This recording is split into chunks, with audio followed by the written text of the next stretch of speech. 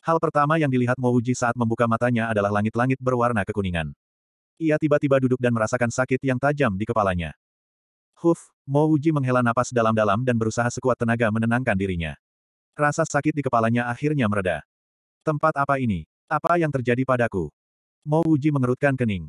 Saat dia memikirkan Gunung Seribu Jimat, dia merasakan sakit yang tak tertahankan di kepalanya. Mo Wuji hanya bisa memaksa dirinya untuk tidak mengingat apa pun saat dia mulai mengamati sekelilingnya. Ruangan itu tidak kecil. Di samping langit-langitnya yang berwarna kekuningan, ada juga tempat tidur yang berwarna kekuningan. Mo Wuji memiringkan kepalanya dan melihat ke tempat tidur yang sedang didudukinya. Tempat tidur itu terbuat dari rangka logam berkarat dan ada beberapa botol obat bekas di lemari kayu di samping tempat tidur. Tunggu. Mata Mo Wuji melebar saat dia menyadari bahwa dia seharusnya berada di rumah sakit. Sekali lagi, rasa sakit yang hebat menyerbu pikirannya. Kali ini, Mo Wuji dengan kuat menahan rasa sakit itu. Beberapa menit kemudian, dia benar-benar mengerti apa yang sedang terjadi. Dia meminta jimat pemecah dunia di Gunung Seribu Jimat dan memasuki jimat Sagedao. Pada akhirnya, ruang di dalam jimat Sagedao terdistorsi dan dia dirasuki oleh Fu Jiujiang. Setelah itu, dia menghunus pedang Kun Wu di lautan kesadarannya dan menebasnya. Itu tidak benar. Mo Wuji tiba-tiba menyadari bahwa dia seharusnya berada di dalam jimat Sagedao. Bagaimana mungkin dia bisa duduk di ranjang orang sakit? Mo Wuji menggunakan kecepatan tercepatnya untuk mencabut selang infus dan jarum dari lengannya. Tepat saat dia hendak turun dari tempat tidur, dia tertegun. Ada dua bekas luka samar di lengannya. Bekas luka pedang biasa menutupi bekas luka jimat. Ini adalah pedang Kun Wu dan jimat Sage Dao. Mo Wuji segera memastikan bahwa dia benar. Dua bekas luka samar di lengannya pastilah pedang Kun Wu dan jimat Sage Dao. Mo Wuji teringat keinginan terakhirnya setelah ia menghunus pedang Kun Wu. Keinginannya adalah kembali ke bumi. Mungkinkah pedang Kun Wu merasakan keinginannya? Pedang itu menekan jimat Sage Dao dan mengirimnya kembali ke bumi. Mo Wuji buru-buru menggunakan kehendak spiritualnya untuk berkomunikasi dengan pedang Kun Wu. Tepat saat dia hendak menggunakan kehendak spiritualnya, otaknya hampir terkoyak. Mo Wuji sangat terkejut hingga dia buru-buru menarik kembali pikirannya. Beberapa saat kemudian, dia mencapai suatu pemahaman. Selain tubuh jasmaninya yang kuat, dia tidak punya metode lain. Hei, kamu sudah bangun.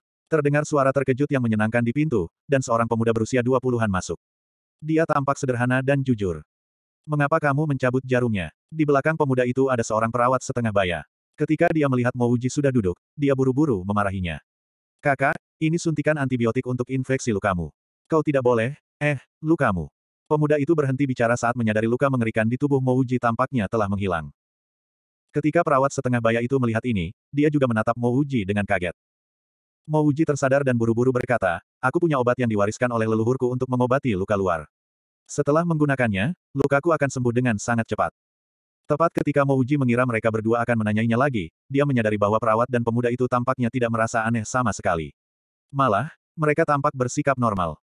Di mana ini? Ingatanku tidak begitu jelas. Mouji bertanya dengan ragu. Pemuda itu buru-buru berkata, ini adalah rumah sakit terbesar di kota Kisu, rumah sakit afiliasi Singda. Aku melihatmu di kaki Gunung Luoyang, dan tubuhmu berlumuran darah. Sepertinya kau jatuh dari gunung, jadi aku menggendongmu ke sini untuk berobat. Mo Wuji benar-benar tahu tentang kota Kisu. Dia bahkan pernah ke sana sebelumnya. Ini adalah ibu kota provinsi Kainan. Dilihat dari penampilannya, pedang Kun Wu memang telah merasakan keinginannya dan mengizinkannya kembali ke bumi. Tidak hanya itu, pedang Kun Wu bahkan menekan jimat Sagedao. Pedang Kun Wu ini memang tidak sederhana. Tetapi, tempat yang rusak ini adalah rumah sakit terbesar di kota Kisu. Tempat tidur tua dan compang camping, selimut kuning, dan langit-langit kuning gelap. Jika rumah sakit terbesar di ibu kota provinsi saja rusak seperti itu, sungguh menggelikan. Juga, ketika dia meninggalkan bumi, dia telah melarang penggunaan antibiotik. Sudah berapa tahunkah itu? Mengapa masih ada infus antibiotik? Terima kasih banyak telah menyelamatkanku. Aku masih tidak tahu bagaimana cara menyapamu. Mau uji buru-buru mengucapkan terima kasih. Pemuda itu tersenyum dan melambaikan tangannya, jangan pedulikan itu. Ini hanya masalah kecil. Namaku Xian Xiang, mahasiswa jurusan Biologi Kosmik Universitas Xingwu. Mo Wuji tertawa, bagimu, ini mungkin masalah kecil, tapi bagiku, ini bukan masalah kecil. Benar sekali, aku Mo Wuji. Meskipun Mo Wuji tahu bahwa meskipun Xian Xiang tidak menyelamatkannya, selama dia masih di bumi, dia tidak akan terluka. Dengan ketangguhan tubuhnya, binatang buas pun tidak akan mampu melukainya. Jika seekor binatang buas ingin memakannya, maka binatang itu akan mengambil nyawanya. Tubuh jasmaninya pasti akan membentuk tubuh dewa untuk menghentikannya. Namun, tetesan ini berbeda, tidak akan membahayakannya sama sekali. Karena tidak ada yang lain, Anda bisa pergi dan melunasi tagihannya. Perawat itu berkata kepada Sian Siang. Kemudian, dia memasuki bangsal dan mulai merapikan obat-obatan dan beberapa peralatan. Baiklah, Mo Wuji. Ikuti aku. Setelah melunasi tagihan, kita akan pergi makan. Xian Ziang menepuk bahu Mo Wuji dan berkata dengan gembira. Mo Wuji tidak membawa tas apa pun.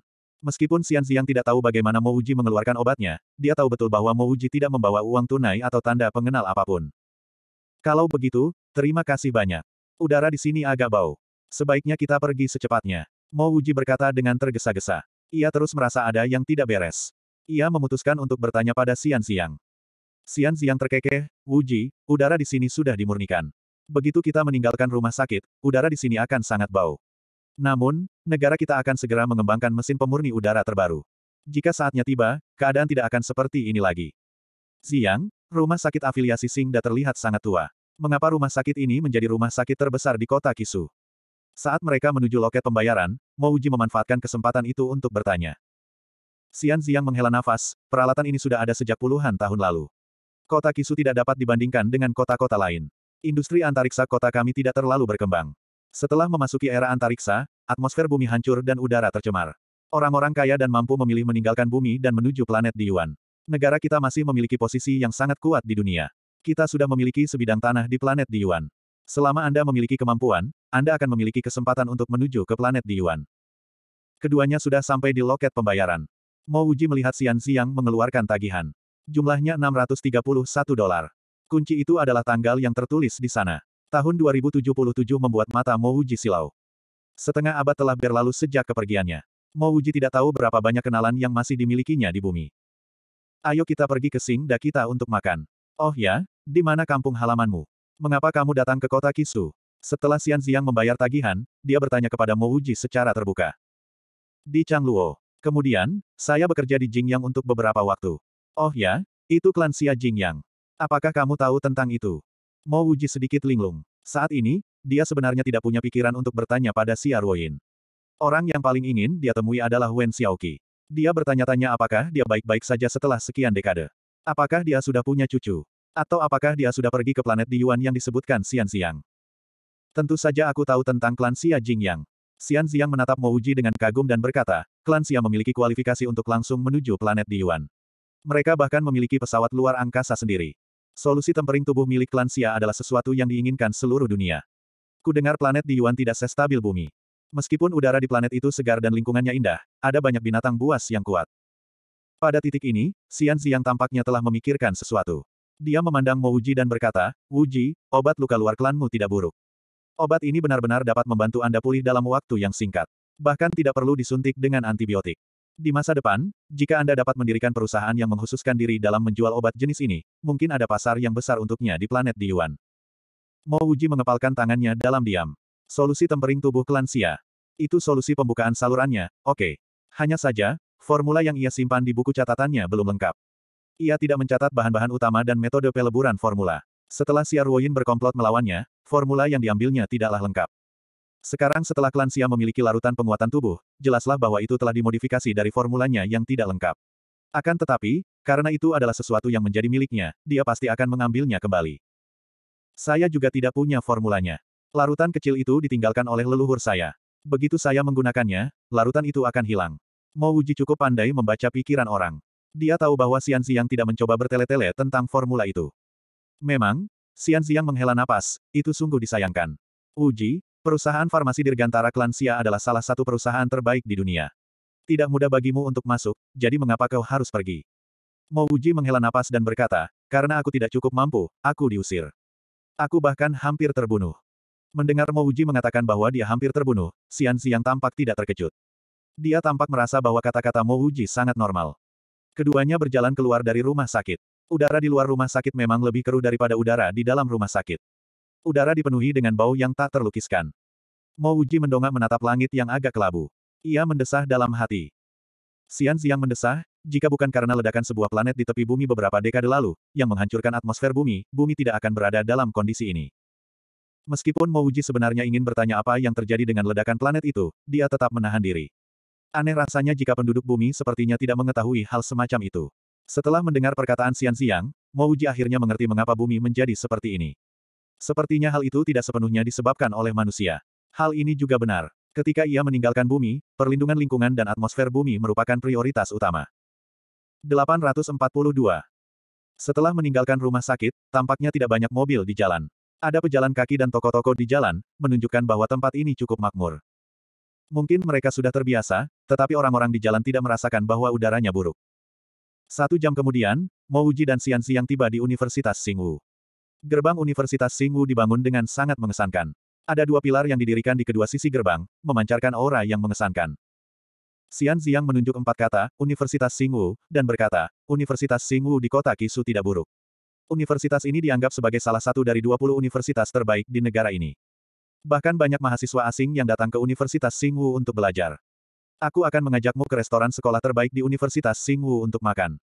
Harganya jauh lebih murah daripada di luar, dan rasanya juga lumayan. Meskipun Mouji tidak dapat memperluas kehendak spiritualnya, dia tetaplah seorang kaisar abadi. Indranya sangat kuat. Saat dia memasuki kampus Universitas Xingwu, dia melihat banyak mesin pembersih lingkungan.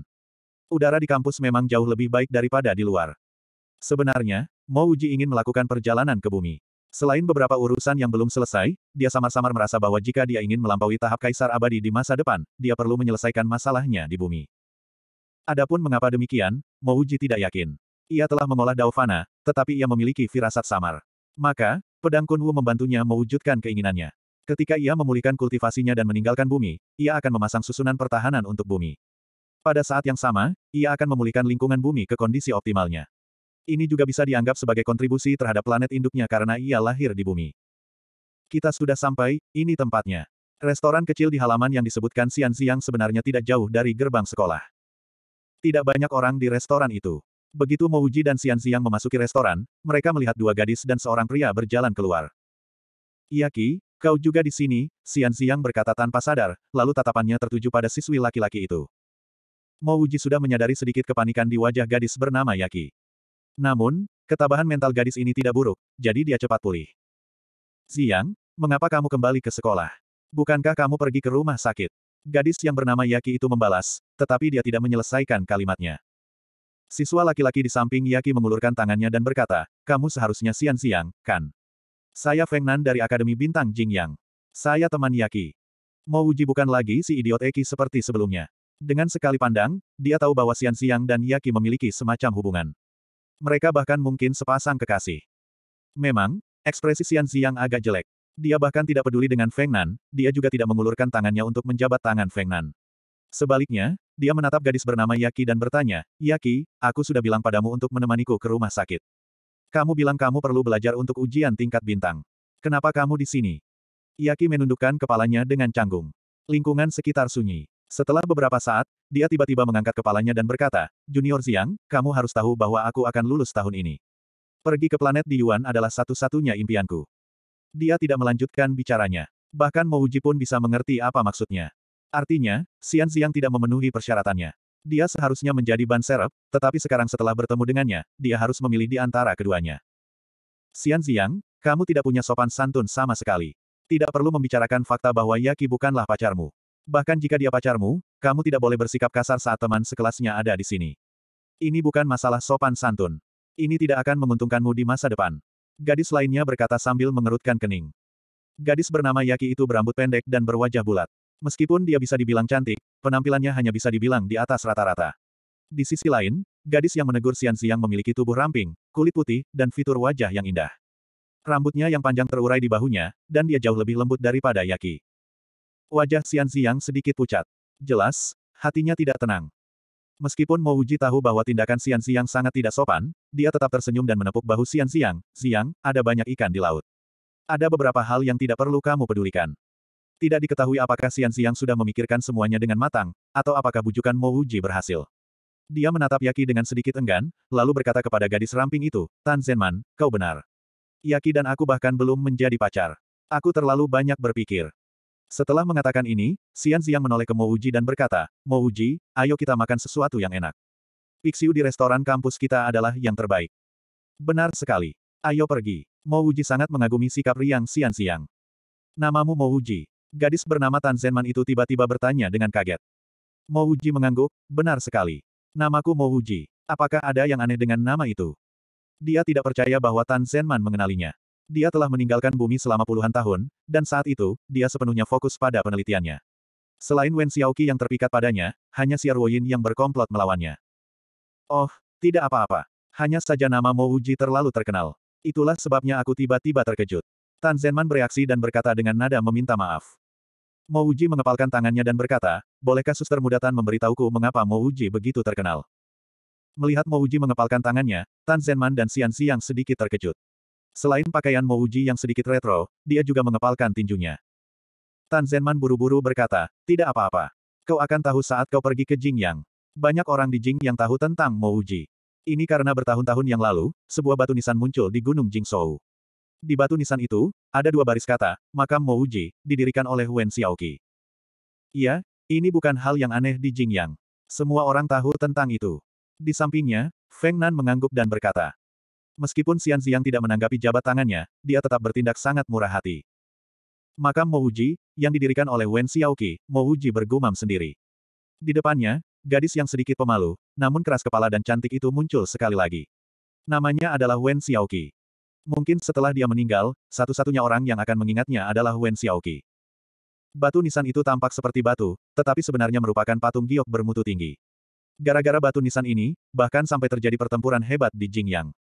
Tan Zenman melihat Mo Wuji tampak linglung, maka ia pun menjelaskan. Terima kasih banyak, Suster Muda Tan. Saya ingin tahu apakah Anda tahu di mana batu nisan ini muncul di Gunung Jingzhou. Di mana sekarang? Juga, apakah ada yang menyelidiki Wen Xiaoqi itu? Mo Wuji dengan paksa menekan kecemasan di hatinya saat dia mengajukan beberapa pertanyaan berturut-turut.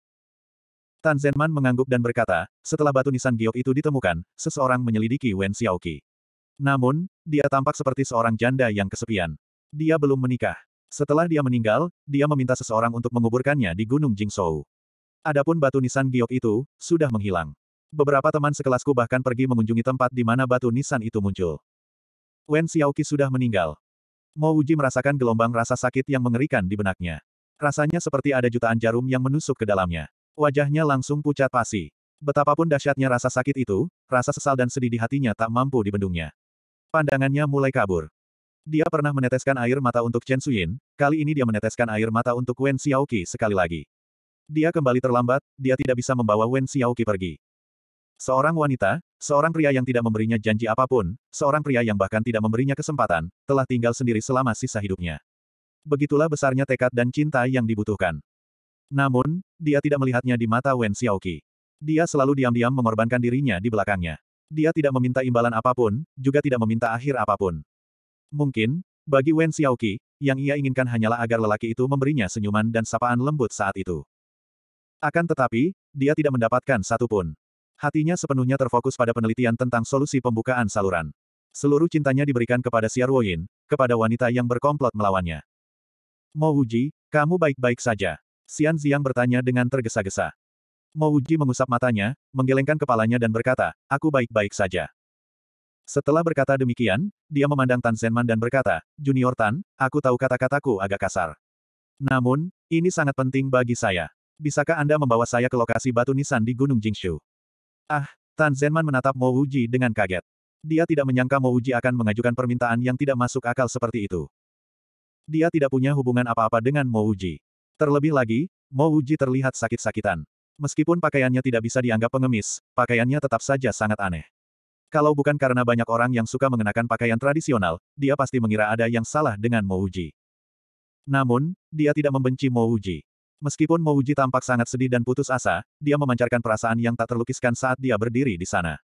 Terlebih lagi, pakaian Mo Wuji sudah tua dan compang camping. Auranya sangat segar dan bersih.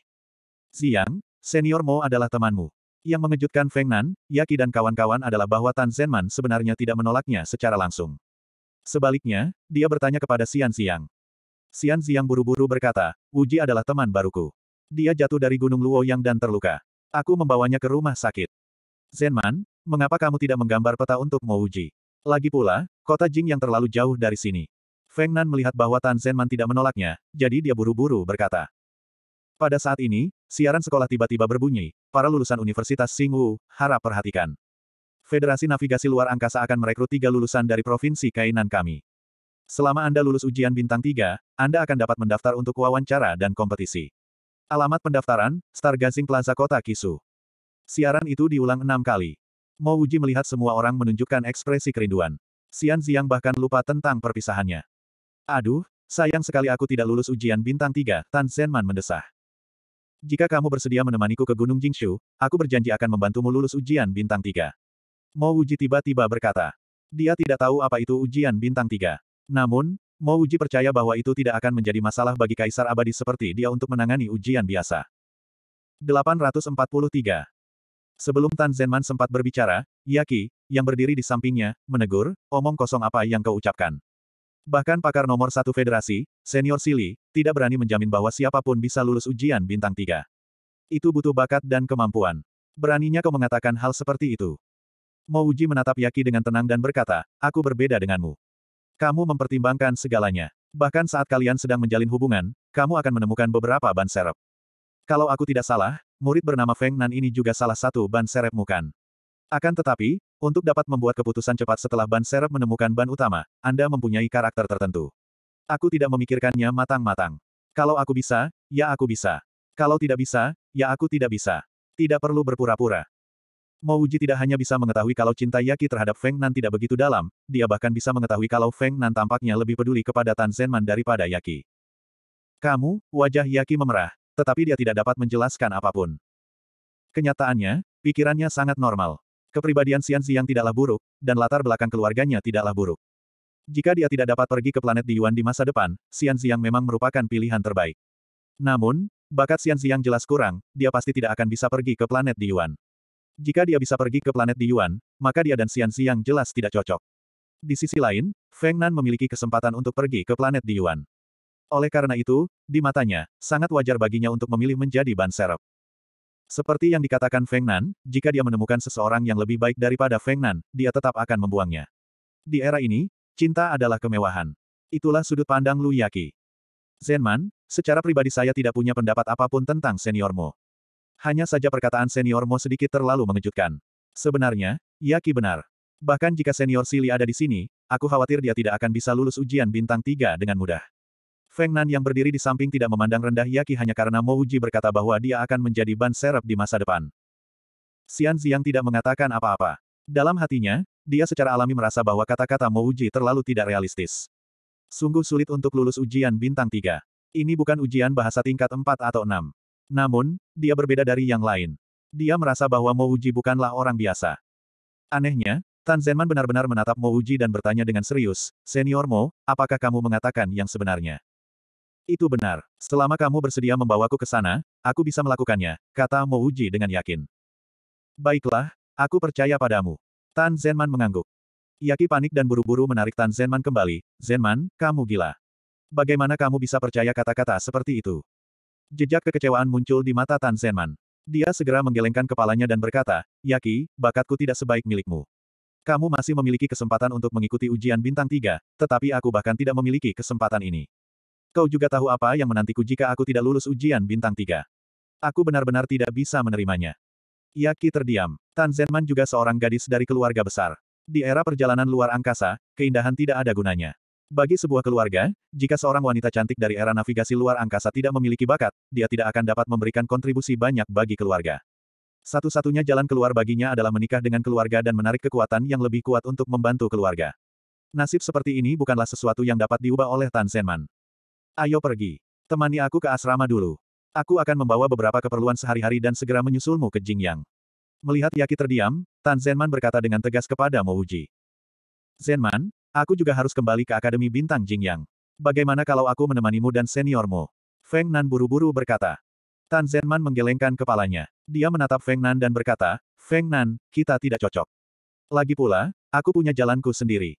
Kau bisa mengikutiku sekali, tapi kau tidak bisa mengikutiku selamanya. Ayo, senior Mo. Tidak perlu memanggilku senior Mo. Panggil saja aku Mo Wuji. Aku sudah lama tidak menjadi murid. Mo Wuji sangat mengagumi Tan Zenman ini. Dia sangat tegas. Selama dia membuat keputusan, dia tidak akan ragu sedikit pun. Ketika Feng Nan mendengar kata-kata Tan Zenman, dia langsung merasa canggung. Kenyataannya, dia memang lebih berhasrat pada Tan Zenman daripada Yaki. Kalau saja dia tidak tahu peluangnya untuk mendapatkan Tan Zenman kecil, dia pasti akan berinisiatif mengejar Tan Zenman daripada Yaki. Mo Wuji juga tahu bahwa Gunung Jingshu terlalu besar. Jika dia masih memiliki kemauan spiritual, dia tidak akan membutuhkan bantuan Tan Zenman. Tetapi sekarang karena dia tidak memiliki kemauan spiritual, akan sangat sulit baginya untuk menemukan tempat di mana prasasti batu Wen Xiaoqi didirikan. Mo Wuji, biar aku yang mengantarmu.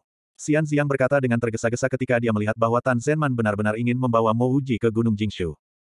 Mo Wuji berhenti dan berkata, Ziang, terima kasih banyak telah mengantarku ke rumah sakit. Setelah aku pergi, aku tidak tahu apakah kita akan bertemu lagi. Aku ingin tahu apa rencanamu. Mendengar Mo Wuji bertanya tentang rencananya, mata Xian Ziang meredup, bakatku terbatas. Jika aku bisa lulus ujian bintang dua dalam hidupku, itu sudah dianggap baik. Karena itu, Aku tidak akan memiliki kesempatan untuk pergi ke planet di Yuan dalam kehidupan ini. Saya hanya berharap setelah lulus, saya dapat membantu orang tua saya menjalankan bisnis keluarga mereka dengan baik.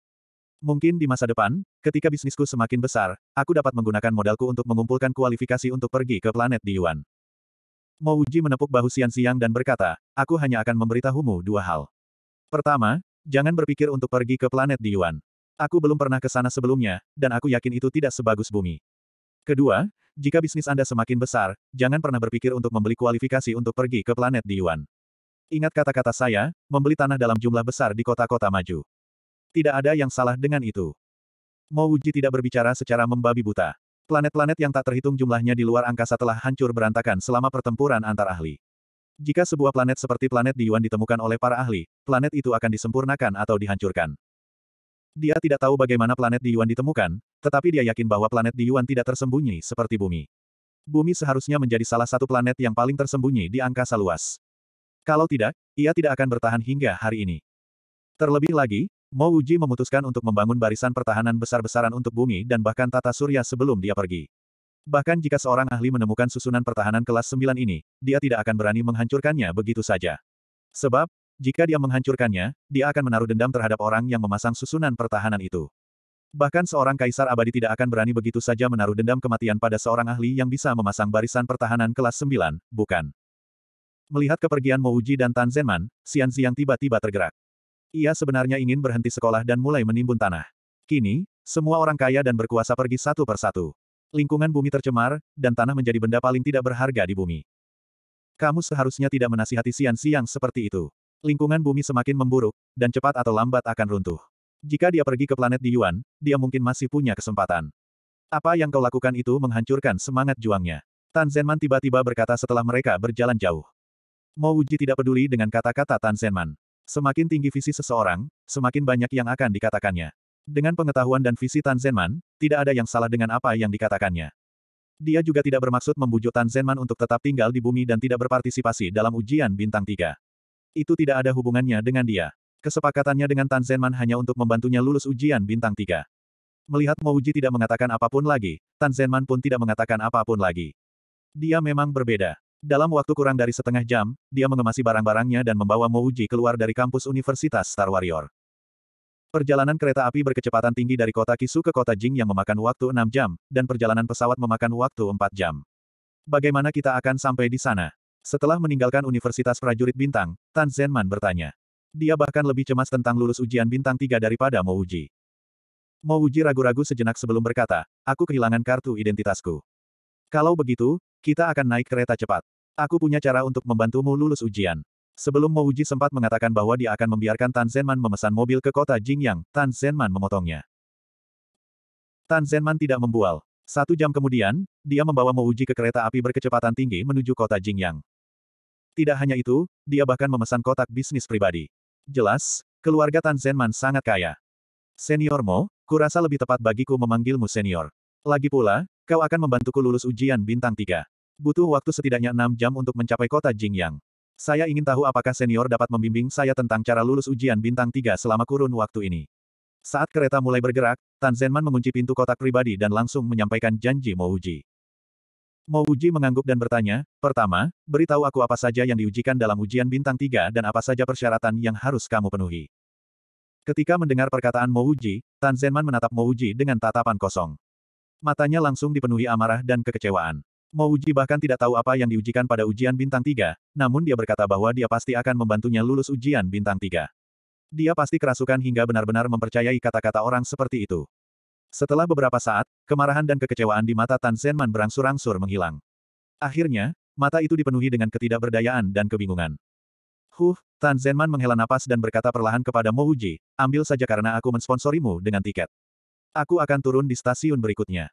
Nanti, kau bisa berjalan di jalanmu sendiri, dan aku akan berjalan di jembatan kayuku sendiri. Mo Wuji tahu arti di balik kata-kata Tan Zenman. Dia menatap Tan Zenman dan berkata dengan tenang, aku tidak tahu tentang ujian bintang tiga.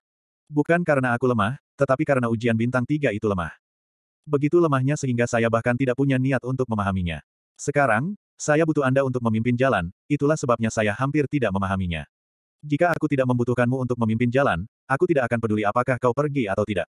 Namun sekarang, aku hanya bisa melakukan sesuatu untuk membuatmu percaya padaku. Sambil berkata demikian, Mo Wuji melihat tas Tan Zenman dan berkata, kalau tidak salah, ada pisau pendek di tasmu. Kau bisa mengambilnya dan menyayat lenganku. Kau ingin aku menggunakan pisau kelantan untuk menebasmu. Mata Tan Zenman membelalak. Ia menduga bahwa ia telah bertemu dengan orang gila. Bisnis Kelantan adalah segala macam pisau.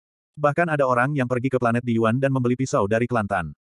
Sekarang, Mo Wuji benar-benar ingin dia menggunakan pisaunya untuk menebasnya. Tidakkah dia tahu bahwa pisau Kelantan miliknya bahkan dapat memotong batang baja? 844. Iya, kau tidak salah dengar. Mo Wuji mengulurkan lengannya. Ia merasa tak berdaya di dalam hatinya.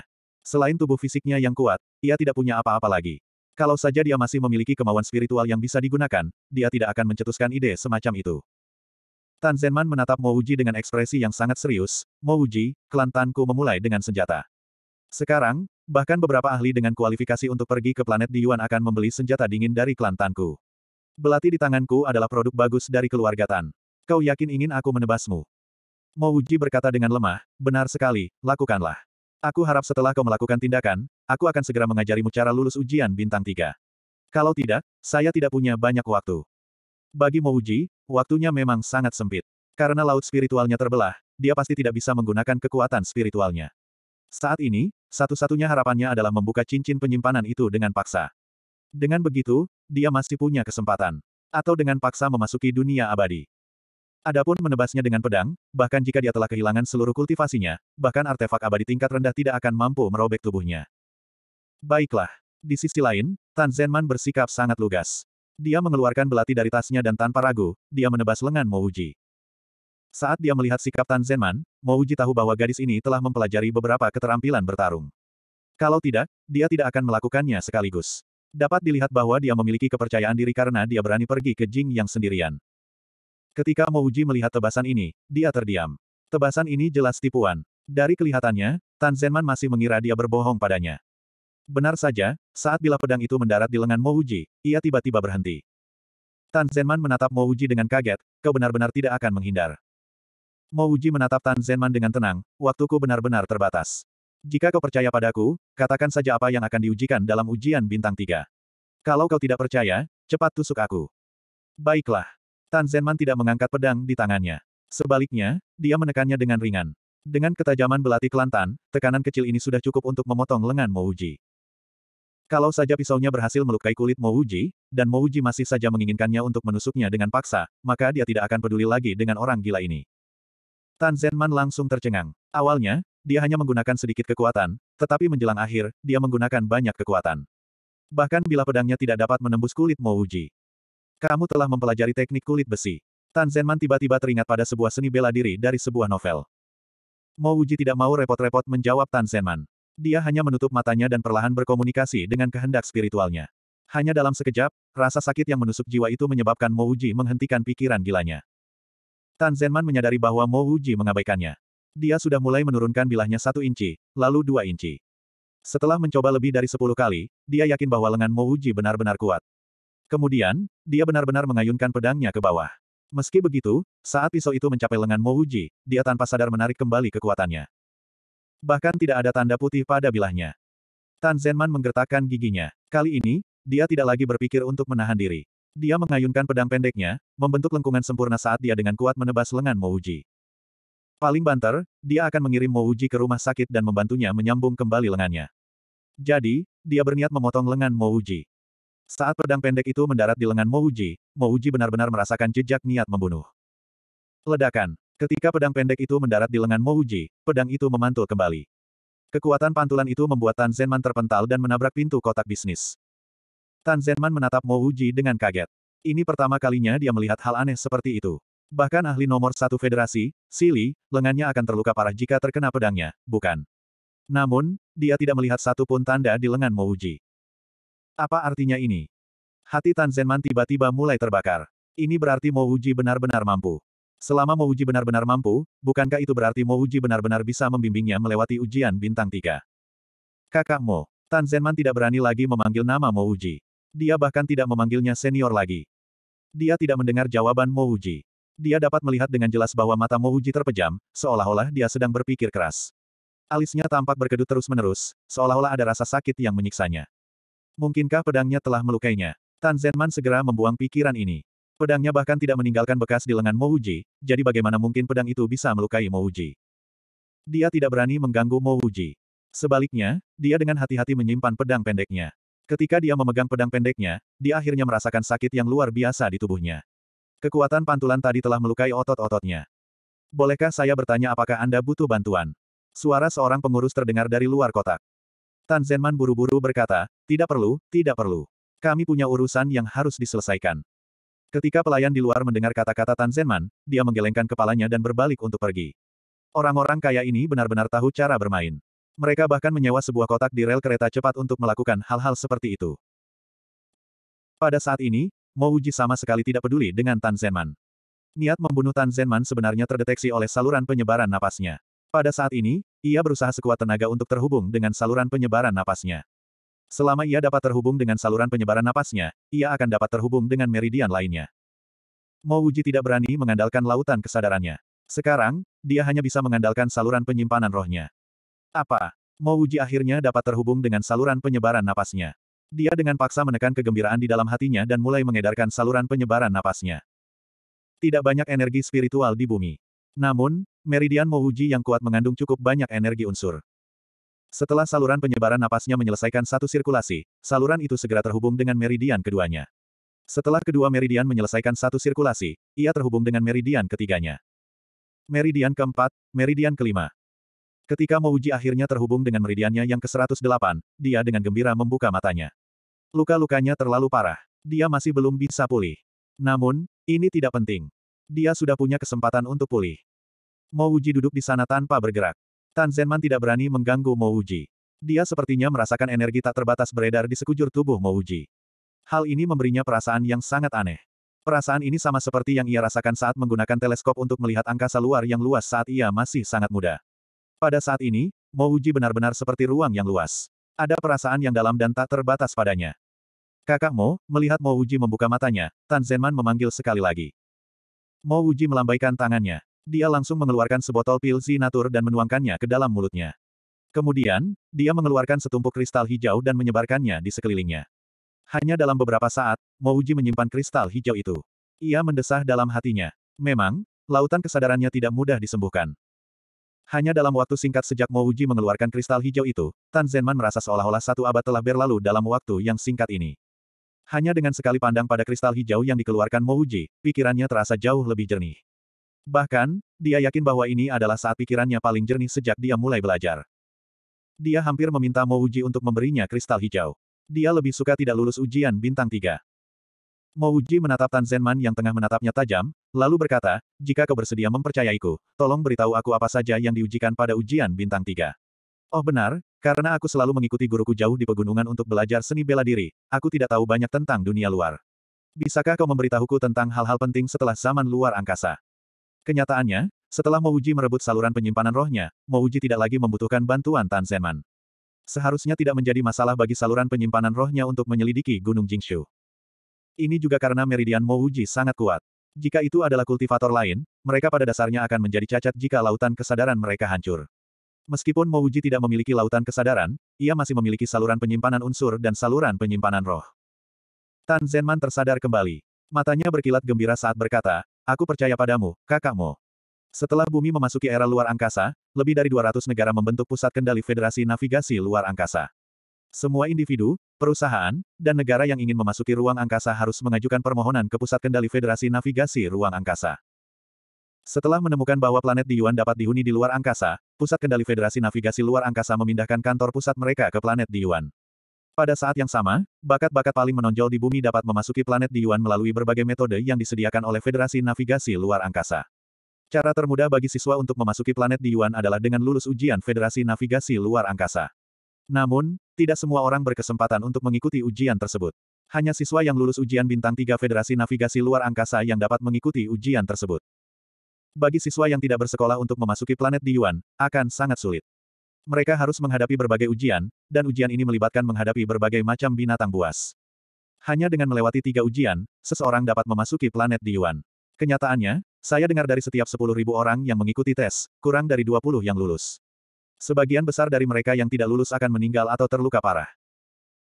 Mo Wuji berkata, Maksudmu adalah setelah aku membiarkanmu lulus ujian bintang 3, kamu hanya akan mendapat kesempatan untuk bersaing dengan orang lain untuk memasuki planet di Yuan. Kamu tidak akan bisa memasuki planet di Yuan, kan? Tan Zenman mengangguk, iya. Kenyataannya, lulus ujian bintang 3 sangatlah sulit. Begitu sulitnya sehingga Singda kita bahkan tidak mendapatkan 10 orang setiap tahun. Saya telah lulus ujian bintang 1 dan 2, tetapi saya gagal dalam ujian bintang 3 tiga kali. Ujian bintang 3 terutama terdiri dari ujian tertulis dan ujian fisik. Kebanyakan orang dapat lulus ujian tertulis asalkan mereka berusaha keras. Sementara itu, tes fisik sangat sulit. Tes ini terdiri dari tes ketahanan, tes gravitasi, tes stamina, tes toksisitas, tes cedera, tes sensorik, dan lain-lain. Setiap tes dibagi lagi menjadi beberapa tes yang lebih kecil, misalnya. Mo Wuji menghentikan perkataan Tan Zenman. Dia sudah mengerti bahwa ini adalah ujian berbagai kemampuan, sekarang setelah aku memiliki sedikit pemahaman, aku punya dua pilihan untukmu. 845. Apa saja dua pilihannya? Tan Zenman bertanya dengan tidak sabar. Pilihan pertama adalah aku akan membiarkanmu melewati tiga tantangan itu dalam waktu satu jam. Tidak, dalam waktu satu jam. Tentu saja, akan mudah bagi Anda untuk menggunakan apa yang saya ajarkan untuk mengikuti tes apa pun. Sebelum Mo Wuji sempat menyelesaikan ucapannya, Tan Zenman berkata dengan cemas, Kakak Mo, maksudmu selama kamu membantuku, aku pasti akan lulus ujian bintang tiga dalam waktu satu jam. Tidak hanya itu, saya bahkan akan bisa masuk ke tiga besar dalam wawancara dan diterima oleh Federasi Navigasi Luar Angkasa. Itu benar. Mo Wuji mengangguk, tidak hanya itu, bahkan jika kamu tidak ikut serta dalam ujian ini, kamu masih akan mampu melewati tantangan dan memasuki planet di Yuan. Meskipun Mo Wuji tidak yakin mengenai perbedaan antara Federasi Navigasi Luar Angkasa dan Federasi Navigasi Luar Angkasa Bumi, dia tidak mau repot-repot bertanya. Kakak Mo, apakah kamu serius? Dari 10.000 orang, hanya 20 hingga 30 yang mampu lulus tantangan ini. Tan Zenman begitu bersemangat hingga suaranya mulai bergetar. Mo Wuji berkata dengan percaya diri, aku lebih serius daripada emas asli. 108 meridiannya telah terbuka. Meskipun lautan kesadarannya belum pulih, dia sudah menjadi eksistensi tertinggi di dunia abadi. Kalau dia menolong Tan Zenman, dan dia bahkan tidak dapat mengalahkan beberapa binatang buas, maka dia akan menjadi kaisar abadi yang palsu. Saya bersedia. Saya akan memilih opsi ini. Tan Zenman tidak ragu untuk mengatakannya. Mo Wuji mendesah dalam hatinya, kau tidak akan mendengarkan pilihan keduaku. Meskipun temperamen Tan Zenman tidak buruk, dia tidak cocok menjadi muridnya. Jika orang lain lebih sabar, mereka setidaknya akan menunggunya selesai berbicara sebelum mengambil keputusan. Alasan mengapa dia tiba-tiba ingin mengangkat Tan Zenman sebagai muridnya adalah karena dia benar-benar membantunya. Jika bukan karena tebasan Tan Zenman, saluran penyebaran napasnya tidak akan aktif. Jika saluran penyebaran napasnya tidak dapat diaktifkan, meridian lainnya pun tidak dapat diaktifkan. Adapun saluran penyimpanan unsur dan saluran penyimpanan roh yang lebih penting, keduanya juga tidak dapat diaktifkan. Kerusakan pada lautan kesadarannya bahkan lebih mengerikan. Bahkan teknik suci laut bintang dan pil alam Zi tidak berguna pada tahap ini. Satu-satunya hal yang bisa diandalkannya adalah pemulihan saluran penyimpanan rohnya. Meskipun ini adalah proses yang sangat panjang, bagi Mo Wuji, ini adalah tebasan yang menyelamatkan nyawa. Selain itu, Tan Zenman cukup baik hati. Dia mencoba menebasnya lebih dari sepuluh kali. Karena Mouji telah meninggalkan warisannya di planet Heavenly Crow, tentu saja ia bermaksud untuk meninggalkan sebagian warisannya di bumi. Ia tidak mungkin menemukan orang yang haus darah. Xian Zi yang masih lumayan, tetapi Mouji bisa tahu dengan sekali pandang bahwa bakat Xian Zi yang kurang. Di tempat seperti bumi di mana energi spiritual langka, akan sia-sia jika bakat seseorang tidak cukup baik. Dia tidak akan menggunakan solusi pembukaan saluran untuk membina murid secara perlahan, jadi dia hanya bisa memberikan Xian Zi yang kekayaan. Wajah Tan Zenman sedikit memerah. Dia tahu bahwa dia terlalu gelisah, menyebabkan dia kehilangan ketenangannya. Dia bertanya dengan canggung, Kakak Mo, aku ingin tahu apa metode kedua. Cara kedua adalah dengan berhenti pergi ke planet di Yuan dan menjadikan aku sebagai gurumu. Aku akan menggunakan waktu sebulan untuk mengajarimu. Setelah sebulan, prestasimu akan bergantung pada dirimu sendiri, kata Mo Uji dengan serius. Dia adalah seorang kaisar abadi. Bahkan di tempat seperti bumi di mana energi spiritual abadi sangat langka, sebulan sudah cukup bagi Tan Zenman untuk melangkah ke tahap Yuan dan dan memulai jalur kultivasi. Ah, Tan Zenman mengeluarkan suara, ah. Dia tidak tahu bagaimana cara menolak Mo Wuji. Salah satunya adalah keinginannya untuk pergi ke planet di Yuan akan segera terpenuhi.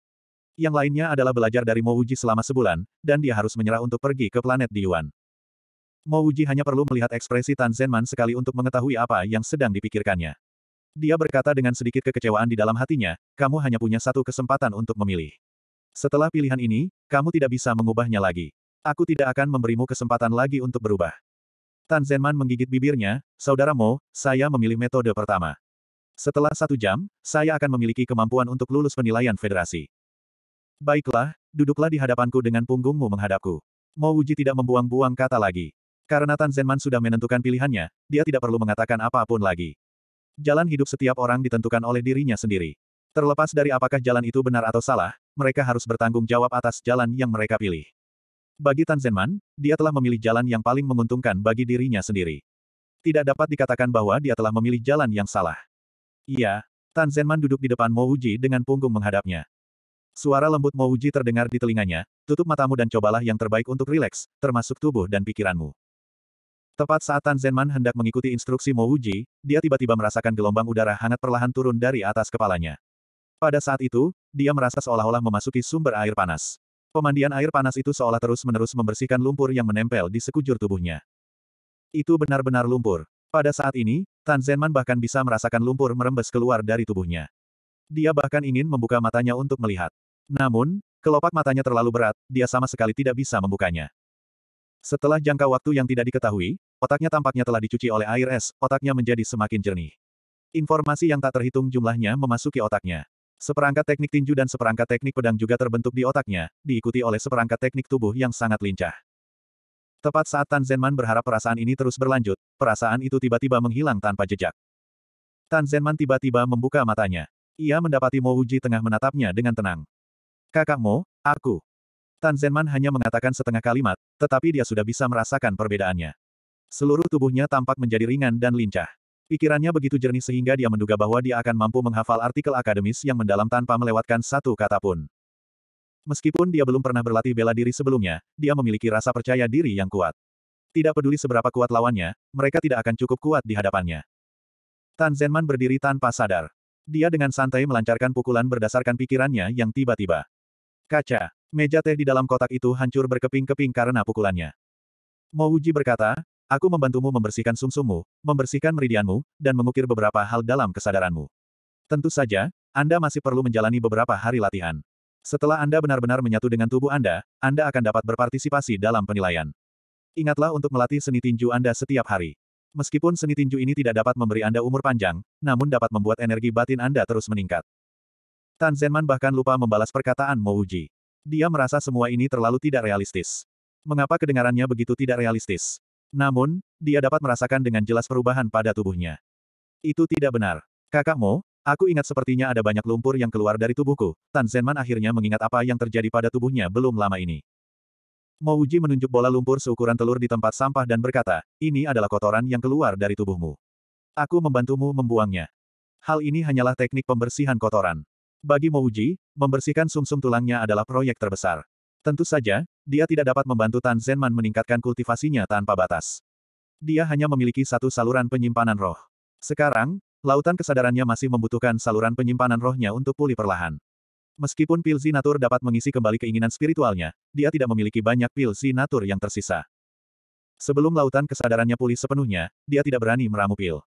Kami telah tiba di Kijou. Penumpang yang menuju Kijou, harap perhatikan. Kereta mengumumkan kedatangan stasiun. Mo Wuji berdiri, kembalilah dan beradaptasilah selama beberapa hari. Setelah itu, bersiaplah untuk berpartisipasi dalam penilaian. Aku ingin turun di sini. Kakak Mo, kamu tidak butuh aku menemanimu ke Jingyang. Tan Zenman bertanya dengan tergesa-gesa. Mo Wuji menjawab, ya, tiba-tiba aku punya cara untuk menemukan tempat itu. Aku tidak butuh bantuanmu. Sambil berbicara, Mo Wuji membuka pintu kotak dan meninggalkan kereta bersama orang banyak. Baru ketika Mouji menghilang di antara kerumunan, Tan Zenman ingat bahwa ia masih memiliki banyak sekali pertanyaan untuk ditanyakan kepada Mouji. Saat dia buru-buru mengejarnya, Mouji sudah menghilang. Tan Zenman mempercepat langkahnya. Ia merasa telah melewatkan sesuatu. Yang tidak disangkanya adalah bahwa dengan satu langkah saja, dia benar-benar mampu melintasi jarak beberapa meter. Hal ini membuat Tan Zenman sangat takut sehingga dia buru-buru memperlambat lajunya. Dia tidak peduli dengan tatapan aneh di sekelilingnya saat dia bergegas keluar. Dia akhirnya mengerti arti di balik kata-kata Mouji, dia membutuhkan beberapa hari untuk beradaptasi dengan kemampuan barunya. Sekarang saluran penyimpanan roh Mo Wuji telah pulih, dia tentu tidak membutuhkan perusahaan Tan Zenman. Dia bisa langsung terbang ke Jingyang. Dengan saluran penyimpanan rohnya, tidak peduli seberapa besar Gunung Jingshu, dia akan dapat menemukannya dengan sangat cepat. Mo Wuji tidak asing dengan Gunung Jingshu, dia pernah ke sana sebelumnya. Gunung Jingshu dekat dengan kota Jingyang dan dianggap sebagai gunung tertinggi di sekitarnya. Sebelumnya, saat Mo Wuji ada di sini, Gunung Jingshu tampak megah. Ditambah dengan sungai Jingyang, Gunung Jingshu memberikan tambahan kesan keindahan dan keagungan. Meskipun Gunung Jingshu dekat dengan sungai, gunung tersebut tidak dikembangkan menjadi kawasan wisata. Alasan utamanya adalah karena Gunung Jingshu tidak memiliki karakteristik khusus selain ketinggiannya. Saat ini, saat Mo Wuji mendarat di Gunung Jingshu, Gunung Jingshu yang tersisa hanyalah bebatuan gundul dan tanah kelabu. Tidak diketahui kapan sungai Jing yang di depan Gunung Jingshu mengering. Dasar sungai dipenuhi dengan segala macam sampah. Mo Wuji berdiri di puncak Gunung Jingshu, terdiam cukup lama. Jika Wen Xiaoqi tahu bahwa sungai Jing yang di kaki Gunung Jingshu akan menjadi tempat pembuangan sampah, dia pasti tidak akan memilih tempat ini sebagai kuburannya. Sambil mendesah, kehendak spiritual Mo Wuji dari saluran penyimpanan rohnya meresap ke bawah. Gunung Jingshu tidaklah kecil. Namun, dengan kultivasi Mo Wuji, keinginan spiritualnya mampu menembus setiap sudut Gunung Jingshu. Hanya dalam waktu 10 menit, Mo Wuji mendarat di lereng dekat sungai Jingyang. Dengan merentangkan tangannya, dia langsung meraih sebuah tombol dari tanah. Meskipun dia telah menjalani dua kehidupan, Mouji masih bisa merasakan bahwa ini adalah kancing bajunya saat di bumi. Ini seharusnya menjadi tempat di mana Wen Xiaoqi mendirikan batu nisannya. 846. Selain tombol ini, tidak ada yang lain. Kehendak spiritual saluran penyimpanan roh Mouji memindai sekelilingnya sekali lagi. Dalam waktu singkat, dia mengerti apa yang sedang terjadi. Tempat ini telah digali lebih dari satu kali, berulang-ulang. Dia mengepalkan tangannya rat-rat sementara hasrat membunuh bergolak dalam hatinya. Kalau saja dia tahu siapa yang menggali di sini, dia tidak akan ragu untuk berubah menjadi abu, sekalipun itu adalah orang biasa yang lewat. Tidak apa-apa kalau dia terlahir kembali. Namun, mayat Wen Xiaoqi pasti ada di sini. Sekarang tempat ini telah digali sedemikian rupa, di mana mayat Wen Xiaoqi berada. Mo Wuji butuh waktu lama untuk menenangkan diri, dan ia memutuskan untuk mencari tempat untuk memulihkan kultivasinya sebelum melakukan hal lainnya. Terlepas dari apakah mayat Wen Xiaoqi ada di Gunung Jingshu, dia tetap akan mencari keluarga Wen Xiaoqi. Satu jam kemudian, Mo Wuji menjual beberapa liontin giok di toko giok. Setelah itu, dia menyewa rumah di kota Jingyang dan memulai kultivasinya yang tertutup untuk memulihkan lautan kesadarannya. Dia tidak tahu berapa lama kultivasi pintu tertutup ini akan berlangsung, jadi tidak ada cara baginya untuk tinggal di hotel. Kota Kisu adalah ibu kota provinsi Kainan, tetapi tidak terlalu terkenal di seluruh negeri. Dibandingkan dengan seluruh dunia, kota Kisu hanya bisa dianggap sebagai kota kecil. Banyak orang bahkan belum pernah mendengarnya. Karena Federasi Navigasi Luar Angkasa sedang merekrut tiga siswa yang lulus ujian bintang tiga untuk pergi ke planet Diyuan, kota Kisu yang awalnya tidak mencolok tiba-tiba menjadi ramai. Banyak sekali orang yang berbondong-bondong ke sini karena satu alasan, tiga tempat untuk memasuki planet Diyuan. Pengumuman Federasi Navigasi Luar Angkasa sangat jelas, hanya pelajar dari Provinsi Kainan yang dapat mengambil bagian dalam wawancara. Akan tetapi, tidak perlu disebutkan pelajar dari Provinsi Kainan, bahkan ada pelajar dari luar negeri. Sebelum wawancara Federasi Navigasi Luar Angkasa, yang tersibuk bukanlah Federasi Navigasi Luar Angkasa, tetapi berbagai universitas di Provinsi Kainan. Banyak sekali siswa yang mencoba menggunakan koneksi mereka untuk pindah ke berbagai universitas di Provinsi Kainan. Semua orang jelas bahwa dibandingkan dengan lulus tiga ujian untuk memasuki planet di Yuan, lulus wawancara Federasi Navigasi Luar Angkasa sebagai seorang siswa tidak hanya kurang berbahaya, tetapi juga lebih besar kemungkinannya untuk berhasil. Plaza Observatorium Kota Kisu tidak hanya menjadi salah satu plaza publik terbesar di kota Kisu, tempat ini juga menjadi lokasi ujian bintang di Provinsi Kainan. Tidak lama setelah itu, wawancara Federasi Navigasi Luar Angkasa juga akan diadakan di alun-alun ini. Karena perusahaan navigasi luar angkasa federal akan merekrut tiga siswa dari Provinsi Kainan, semakin banyak siswa yang datang untuk berpartisipasi dalam penilaian bintang tiga. Tan Zenman duduk dengan tenang di aula. Dia sudah mendaftar sejak lama, tetapi karena terlalu banyak orang, dia hanya bisa menunggu di sini. Meskipun klan Tan dianggap klan kecil, mereka tidak memiliki kualifikasi untuk menggunakan koneksi mereka di tempat seperti itu. Belum lagi mencari koneksi untuk seorang gadis dari klan Tan. Bahkan jika klan Tan memiliki beberapa koneksi, itu akan diserahkan kepada para lelaki dari klan Tan. Ada banyak siswa yang menunggu penilaian dan mereka semua mengobrol tentang isi penilaian bintang 3. Mereka berdiskusi tentang peluang lulus ujian bintang 3, dan berbagai trik untuk lulus ujian. Tan Zenman tidak ikut dalam percakapan ini. Dia bahkan tidak memberitahu teman-teman sekelasnya tentang ujian bintang 3 ini dan datang sendiri. Setelah sebulan berlatih fusi, Tan Zenman menyadari betapa mengerikannya hal-hal yang diajarkan Mo Wuji padanya. Tidak, bukan berarti hal itu diajarkan kepadanya, melainkan justru diberikan kepadanya. Hanya butuh waktu sebulan baginya untuk menyatukan semua hal ini. Kalau sebelumnya, dia pasti tidak akan percaya kalau dia bisa langsung melompati tembok setinggi 8 meter. Tidak perlu bicara tentang 8 meter, bahkan jika itu 4 hingga 5 meter, dia akan tetap menggunakan seluruh kekuatannya dan kedua tangan dan kakinya. Ini adalah hasil dari pelatihannya untuk ujian bintang 3. Tetapi sekarang, dia hanya perlu menggunakan jari kakinya untuk mendorong dinding, dia bahkan tidak perlu menggunakan tangannya. Dia sangat yakin bahwa jika dia berlatih beberapa bulan lagi, tidak perlu berbicara tentang 8 meter. Dia bahkan bisa menyeberangi tempat yang lebih tinggi. Sedangkan untuk ujian bintang 3, sama saja seperti yang dikatakan Mo Uji padanya, ujian itu tidak terlalu berarti. Dia hampir 100% yakin bahwa dia bisa lulus. Jika dikatakan bahwa ketika Mo Uji pergi, Tan Zenman tidak menyadari apa yang telah hilang darinya. Namun sekarang, dia samar-samar dapat merasakan bahwa dia telah kehilangan harapan terbesar dalam hidupnya. Dibandingkan dengan yang lain, hasil panennya tak terbayangkan. Tan Zenman tahu bahwa jika dia menjadi murid Mo Uji, keuntungannya tidak akan dianggap banyak. Dia sekarang yakin bahwa Mo Uji adalah keturunan dari seni bela diri tertentu, dan bukan hanya seni bela diri pertunjukan. Satu-satunya hal yang tidak dapat dia pahami adalah mengapa dia harus tetap di bumi untuk menjadi murid Mo Uji. Adik perempuan ini, apakah kamu juga di sini untuk mengikuti ujian bintang tiga? Seorang pemuda berotot berjalan ke sisi Tan Zenman dan duduk, bertanya seolah-olah dia sangat mengenalnya. Iya, Tan Zenman menjawab dengan acuh tak acuh. Pemuda berotot ini tidak mempermasalahkan sikap dingin Tan Zenman. Sebaliknya, dia tersenyum dan mengulurkan tangannya, perkenalkan diri saya. Saya Gong Suefeng dari klan Gong Ping Hai. Saya mahasiswa Universitas Penerbangan Haitong. Sekarang setelah aku pindah ke Universitas Xingwu, aku juga di sini untuk berpartisipasi dalam ujian bintang 3. Tan Zenman tidak mengulurkan tangannya. Sebaliknya, dia mengangguk dan berkata, Halo, saya Tan Zenman. Saya juga dari Universitas Xingwu. Jika sebulan yang lalu, dia pasti akan berdiri dan menyapa Gong Suefeng ketika dia mendengar bahwa dia berasal dari klan Gong. Dilihat dari sejarah klan, klan Tannya bahkan tak bisa dianggap sebagai titik kecil di hadapan klan Gong. Saat ini, Tan Zenman tengah memikirkan fakta bahwa seluruh klan Gong bahkan tidak dapat dibandingkan dengan kakak Mo Wuji yang misterius itu. Sayangnya, dia tidak tahu latar belakang Mo Wuji. Sebenarnya, setengah bulan yang lalu, dia ingin mencari Xian Xiang dan bertanya kepadanya tentang hal itu. Namun, Xian Xiang malah mengambil cuti dari sekolah. Dia bahkan tidak tahu ke mana dia pergi. Tan Zenman menduga bahwa Xian Xiang benar-benar mendengarkan kata-kata Mo Wuji dan menyerah pada ide untuk pergi ke planet Diyuan. Sebaliknya, dia dengan sepenuh hati ingin membeli tanah. Bagaimanapun, semua orang kaya ingin pergi ke planet Diyuan. Hal yang paling tidak berharga di bumi adalah tanah. Ketika Gong Suefeng melihat bahwa Tan Zenman masih berani mengabaikannya bahkan setelah dia mengungkapkan latar belakangnya, dia merasa sedikit marah. Ini adalah sesuatu yang belum pernah terjadi sebelumnya. Tepat saat dia hendak melanjutkan bicaranya, siaran mengumumkan namanya. Setelah itu, dia mendengar nama Tan Zenman. Dia dan Tan Zenman sebenarnya berada di angkatan yang sama. Tan Zenman menarik napas dalam-dalam. Ia berdiri dan berjalan menuju pintu masuk ujian bintang 3. Dia yakin bahwa dia bisa lulus ujian bintang 3 sekarang. Namun, dia masih sedikit khawatir.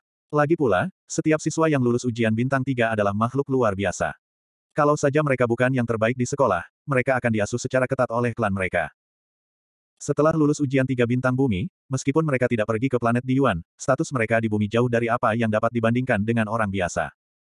Segmen pertama ujian tiga bintang bumi adalah ujian gravitasi. Ujian gravitasi berbeda dengan ujian daya tahan. Ujian daya tahan dibagi menjadi beberapa segmen yang lebih kecil seperti tahan dingin, tahan panas, tahan vakum, del. Hanya ada satu segmen dalam ujian gravitasi, yaitu melewati sembilan anak tangga gravitasi. Gravitasi pada sembilan anak tangga ini meningkat secara bertahap. Orang biasa yang belum pernah berlatih sebelumnya pasti tidak akan mampu melewati tes gravitasi jenis ini. Ketika mereka mencapai dua anak tangga terakhir, mereka bahkan tidak dapat mengangkat kaki mereka. Tulang kaki mereka juga sering remuk. Beberapa klan yang kaya dan banyak akal dapat membeli cairan penempat tubuh bermutu tinggi dari klan Xia. Menggunakan cairan ini untuk menempat tubuh mereka, mereka kemudian dapat lulus ujian gravitasi. Kebanyakan orang seperti Tan Zenman, mereka hanya bisa mengandalkan bakat bawaan mereka untuk mengendalikan diri. Tan Zenman yakin bahwa jika dia tidak bertemu Mo Wuji, dia tidak akan pernah bisa lulus ujian gravitasi. Jika dia tidak bisa lulus ujian gravitasi, tidak perlu membicarakan ujian lainnya. Saat dia berdiri di sembilan anak tangga gravitasi, Tan Zenman benar-benar menjadi tenang. Dia mengangkat kakinya dan melangkah di anak tangga pertama. Beban yang sebelumnya tak tertahankan itu ternyata tidak memengaruhinya sama sekali. Tanpa sadar dia melihat orang-orang yang terus-menerus jatuh dari tangga di ruang uji gravitasi. Hatinya dipenuhi rasa terima kasih kepada Mo Wuji. Meskipun ujian fisik ini tidak berbahaya seperti tantangan tiga ujian, cedera dan bahkan cedera serius sering terjadi. Langkah kedua, langkah ketiga. Dengan sangat mudah, Tan Zenman melewati sembilan anak tangga dan dengan mudah lulus ujian gravitasi. Tepat saat Tan Zenman lulus ujian gravitasi, Pengumuman otomatis berbunyi, penguji Tan Zenman telah lulus ujian gravitasi. Silakan lanjutkan ke ruang ujian berikutnya untuk ujian daya tahan. Di kantor perhitungan nilai, seorang pria dan seorang wanita sedang mengobrol. Tidak diketahui apa yang mereka bicarakan, tetapi mereka berdua semakin asyik mengobrol. Ketanyaannya, kantor perhitungan nilai hanya ada untuk memberikan saran untuk ujian semacam itu. Biasanya, selama peserta ujian menjalani tes fisik, tes tersebut akan diselesaikan secara otomatis oleh sistem. Skor juga diselesaikan secara otomatis oleh sistem, jadi tidak ada cara untuk mengubahnya. Meskipun mereka mendengar pengumuman bahwa Tan Zenman telah lulus uji gravitasi, mereka tidak terlalu memperhatikannya. Lagi pula, hanya sedikit peserta ujian yang lulus ujian gravitasi setiap hari. Namun, di layar besar di belakang mereka berdua, ada sederet kata, Tan Zenman, nilai ujian gravitasi ujian bintang 3, 100. Lulus ujian gravitasi adalah satu hal, tetapi mendapat nilai 100 adalah hal lain. Dikabarkan bahwa sejak ditetapkannya ujian bintang 3, tidak lebih dari 10 peserta ujian di seluruh dunia yang berhasil memperoleh skor penuh 100. Pakar nomor satu planet di Yuan, Sili, telah memperoleh 100 poin dalam ujian bintang 3. Kalau mereka berdua melihat 100 poin ini, mereka mungkin akan sangat terkejut dan segera melaporkannya ke atasan mereka. Ini adalah pertama kalinya Tan Zenman memasuki ruang ujian daya tahan.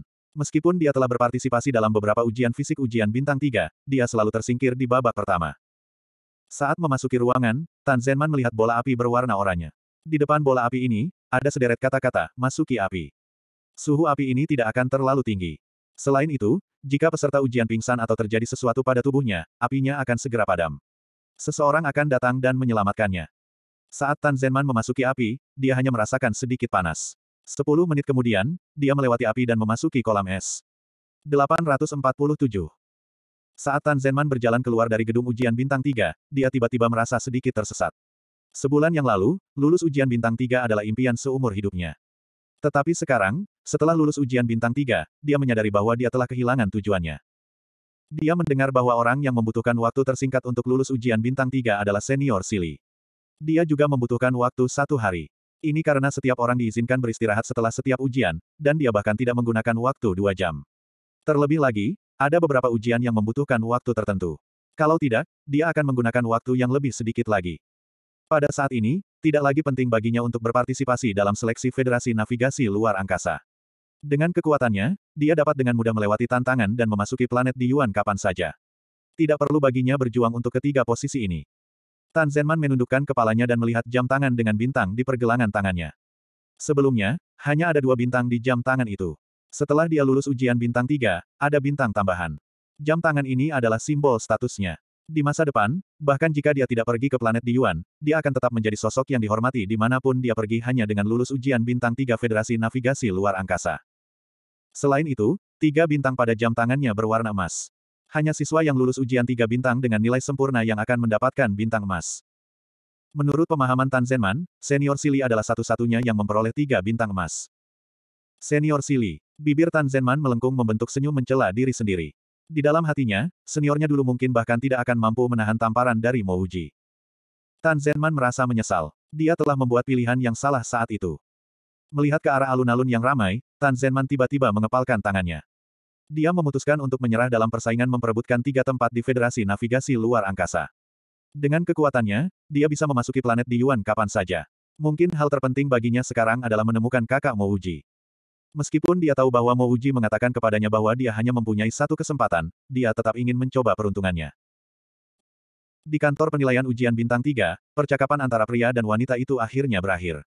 Ketika wanita itu berdiri, matanya tiba-tiba membelalak saat dia menatap layar di belakang pria itu. Wan Fei, kamu baik-baik saja. Pria itu terkejut dengan tatapan wanita itu saat dia buru-buru berdiri dan bertanya. Wanita bernama Wan Fei itu menunjuk ke layar di belakang pria itu dan tergagap. Jusangki, kamu, kamu, lihat. Jusangki tiba-tiba berbalik dan mulutnya juga terbuka lebar. Setelah beberapa saat, dia tergagap, nilai penuh untuk semua tes fisik ujian bintang 3, 3 bintang emas, 1 jam 49 menit, ini, ini. Cepat dan laporkan pada atasan. Orang itu pasti sudah pergi sekarang. Kita sudah selesai. Wan Fei bereaksi dan berteriak dengan suara gemetar. Iya, ya, Ju Sangki segera meraih mikrofon dan menekan tombol merah. Antartika. Setelah memasuki era navigasi luar angkasa, tempat ini awalnya menjadi markas besar Federasi Navigasi Luar Angkasa di bumi. Setelah menemukan planet di Yuan dan memulai pembangunannya, Federasi Navigasi Luar Angkasa memindahkan kantor pusat mereka ke planet di Yuan. Ia menjadi cabang Federasi Navigasi Luar Angkasa yang terbesar di bumi. Pada saat ini, di ruang konferensi Pusat Navigasi Luar Angkasa Federasi Antartika, hampir 100 orang sedang duduk untuk sebuah pertemuan penting.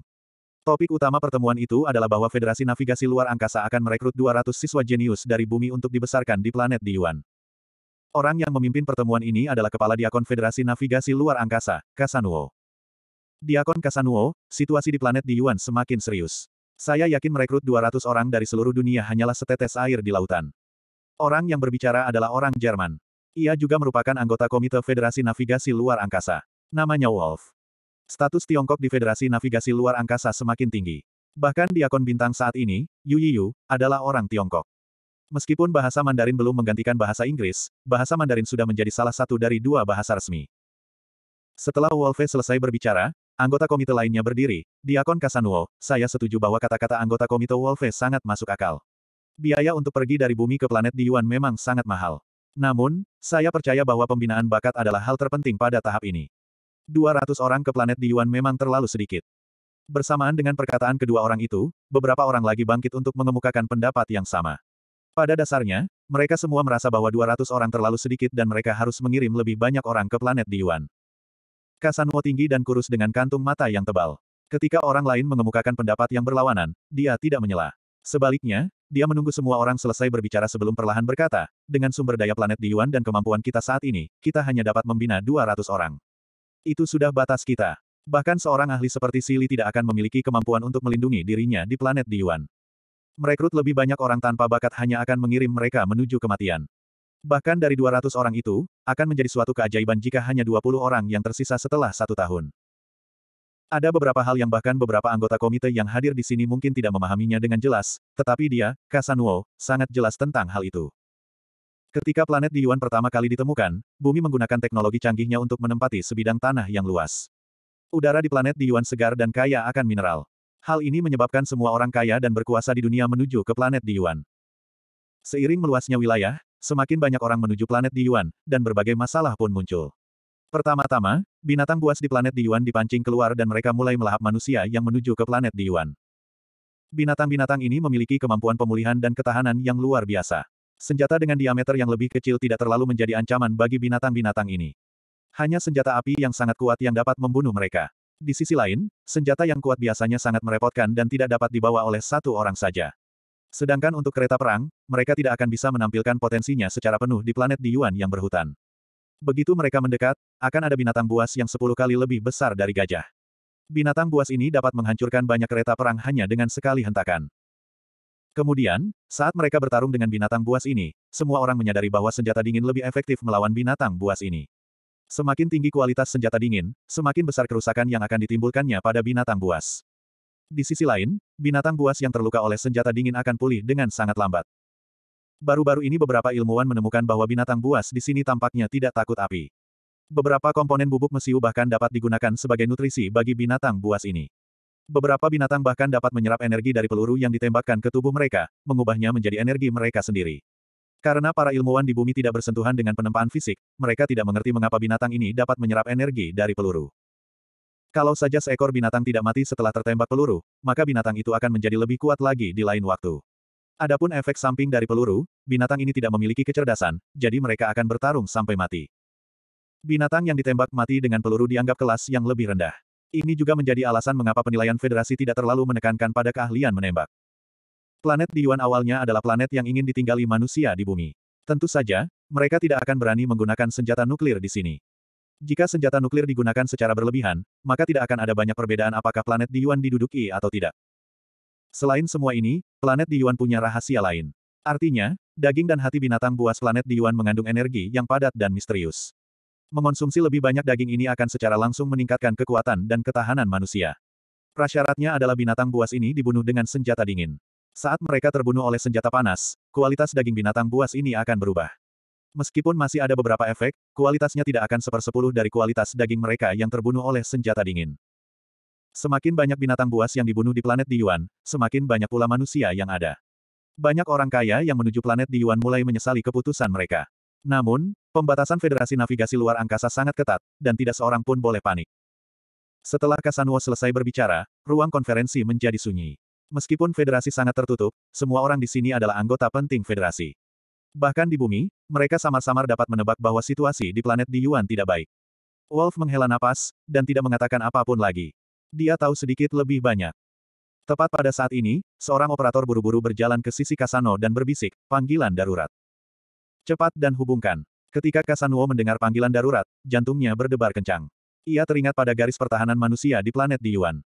Planet di Yuan ditemukan oleh manusia dengan susah payah. Hampir setengah dari ilmuwan hebat dan berbagai bakat berada di planet di Yuan. Karena terlalu banyak binatang buas yang kuat, garis pertahanan manusia harus dibangun dengan biaya yang sangat besar. Jika garis pertahanan dirobek oleh binatang buas, maka manusia di planet di Yuan bahkan tidak akan mempunyai kesempatan untuk kembali ke bumi. Panggilan itu tersambung. Ketika Kasanuo mendengar bahwa itu bukan tentang planet di Yuan, dia langsung menghela napas lega. Setelah itu, dia menjadi marah. Ini adalah pertemuan penting, tetapi panggilan darurat seperti itu malah dilakukan. Sebelum Kasanwo bisa marah, dia berteriak kegirangan, kamu mengatakan bahwa dalam waktu kurang dari dua jam, seseorang memperoleh nilai penuh dalam ujian fisik bintang tiga. Bagus, bagus, segera temukan orang ini. Aku akan segera datang ke kota Kisu. Saat Kasanwo meletakkan telepon, dia masih sangat bersemangat. Pilar planet di Yuan, ahli nomor satu, Sili, pernah berkata sebelumnya bahwa satu-satunya cara untuk menekan semua binatang buas di planet di Yuan adalah dengan menemukan banyak ahli, atau bahkan ahli absolut untuk menekan semua binatang buas. Itulah sebabnya mengapa Tiongkok memiliki status yang tinggi. Banyak pakar yang berasal dari Tiongkok. Demikian pula, inilah alasan Federasi Navigasi Luar Angkasa merekrut siswa berbakat untuk memasuki planet di Yuan. Tujuannya adalah untuk mendidik para ahli. Apa? Pada saat yang sama, Xiaoyu juga tiba-tiba berdiri. Matanya merah saat dia menatap pria parubaya yang berdiri di depannya. Dia bertanya kata demi kata, maksudmu seseorang lulus ujian bintang tiga federasi dengan nilai penuh. Dan itu dalam waktu dua jam. Iya, itu benar sekali. Berdasarkan apa yang aku ketahui, Kasano dari Federasi Navigasi Luar Angkasa sudah bergegas menuju kota Kisu. Xiaoyu mengepalkan tangannya erat-erat dan berkata tanpa ragu, seluruh kekuatan klan Xia telah dikerahkan. Kita harus membawa orang ini pergi sebelum Kasanuo dalam waktu sesingkat mungkin. 848. Mo Wuji menghela napas dalam-dalam. Selama sebulan terakhir, ia telah dengan hati-hati memelihara lautan kesadarannya dengan saluran penyimpanan rohnya dan terus-menerus menggunakan pil Natur untuk pemulihan. Sekarang, retakan besar di lautan kesadarannya akhirnya mulai pulih. Ini karena pedang itu telah membelah danau ungu di lautan kesadaran Mouji. Pada saat ini, tidak hanya tidak ada lagi energi ungu yang tersisa di danau ungu itu, tetapi juga kering dan retak. Mouji tidak khawatir. Semuanya sulit pada awalnya. Selama ada permulaan, sisanya akan mudah. Begitu lautan kesadarannya diperbaiki, danau ungu itu pasti akan mengeras. Benar saja, seperti yang diharapkan Mouji. Begitu lautan kesadarannya mulai pulih, kecepatan pemulihannya akan semakin cepat. Menjelang akhir, bukan hanya saluran penyimpanan rohnya saja yang berubah, bahkan teknik suci laut bintang dan pil alam si pun ikut beraksi. Beberapa hari berlalu. Rasa sakit di lautan kesadaran Mouji tiba-tiba menghilang. Ia merasa seolah-olah benih baru telah tumbuh. Perasaan baru mengalir deras ke dalam hatinya. Mouji berdiri dengan terkejut. Lautan kesadarannya ternyata telah membentuk domain dunia yang samar. Alasan mengapa lautan kesadaran dapat dengan mudah diserbu oleh para ahli adalah karena lautan kesadaran hanya merupakan kondensasi dari kemauan spiritual dan spiritualitas Dao seorang kultivator. Dalam keadaan normal, akan sangat sulit untuk menyerbu lautan kesadaran. Namun, jika lawan jauh lebih kuat dari Anda, maka lautan kesadaran akan menjadi tempat yang mudah untuk diserang. Namun, berbeda halnya ketika domain dunia terbentuk. Jiwa ahli mana pun yang ingin menyerbu lautan kesadaran harus melewati domain dunia. Tidak peduli seberapa kuat jiwa atau roh primordial, itu hanyalah bentuk kekuatan kemauan. Selain beberapa domain dunia khusus, domain dunia dengan pertahanan tidak mungkin diserang. Dengan kata lain, selama wilayah dunia lautan kesadarannya benar-benar padat, tak seorang pun akan mampu merasukinya. Kecuali dia sedang merayu kematian dan membiarkan roh primordial lain memasuki lautan kesadarannya. Selama dia tidak bodoh, Mo Wuji pasti tidak akan membiarkan roh primordial lain memasuki lautan kesadarannya. Setelah terbentuknya domain dunia lautan kesadaran, lautan kesadarannya berangsur-angsur pulih. Danau ungu di lautan kesadarannya juga mulai mengembun. Segala sesuatu di lautan kesadarannya menjadi jelas. Sebelumnya, lautan kesadaran Mouji telah jauh melampaui Kaisar Abadi. Pada saat ini, Mouji menemukan bahwa lautan kesadarannya menjadi beberapa kali lebih besar dari sebelumnya.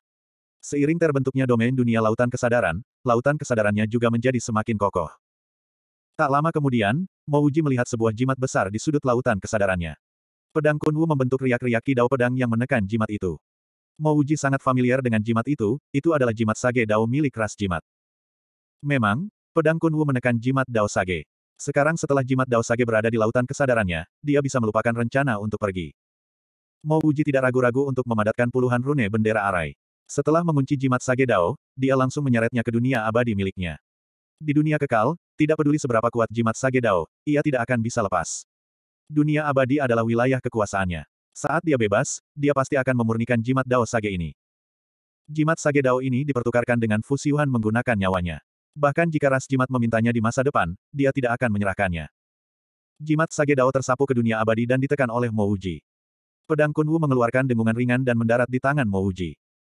Terima kasih. Kamu menyelamatkanku kali ini dan bahkan membantuku menekan jimat Sage Dao. Hancurnya lautan kesadaranku bukanlah salahmu.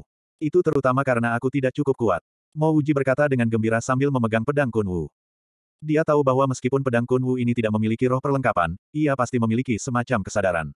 Dia baru menyempurnakan lapisan pertama batasan pada pedang Kunwu, tetapi fakta bahwa pedang Kunwu sangat membantunya, berarti pedang itu bertekad untuk mengikutinya.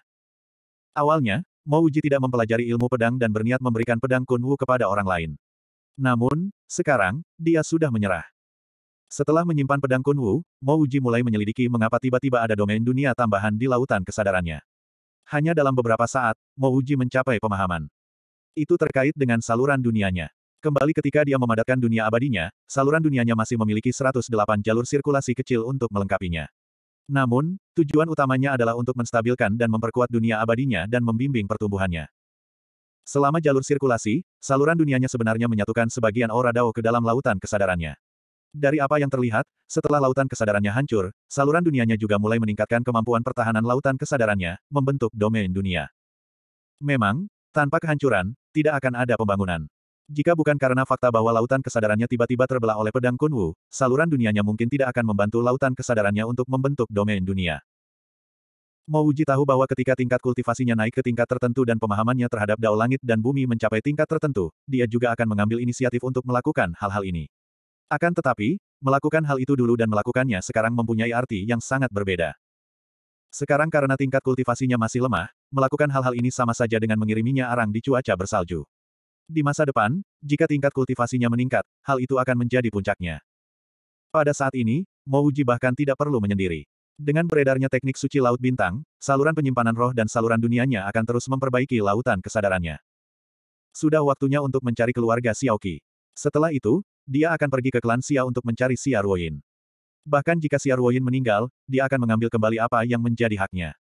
Ketika dia pergi, dia akan membantu bumi memulihkan lingkungannya. Kemudian, dia akan membangun susunan abadi kelas 9 untuk melindungi bumi sebelum meninggalkan tempat ini. Adapun planet di Yuan, Mouji tidak tertarik pergi ke sana. Kota Changluo, tempat kelahiran Mouji. Di sanalah ia bertemu Wen Xiaoqi.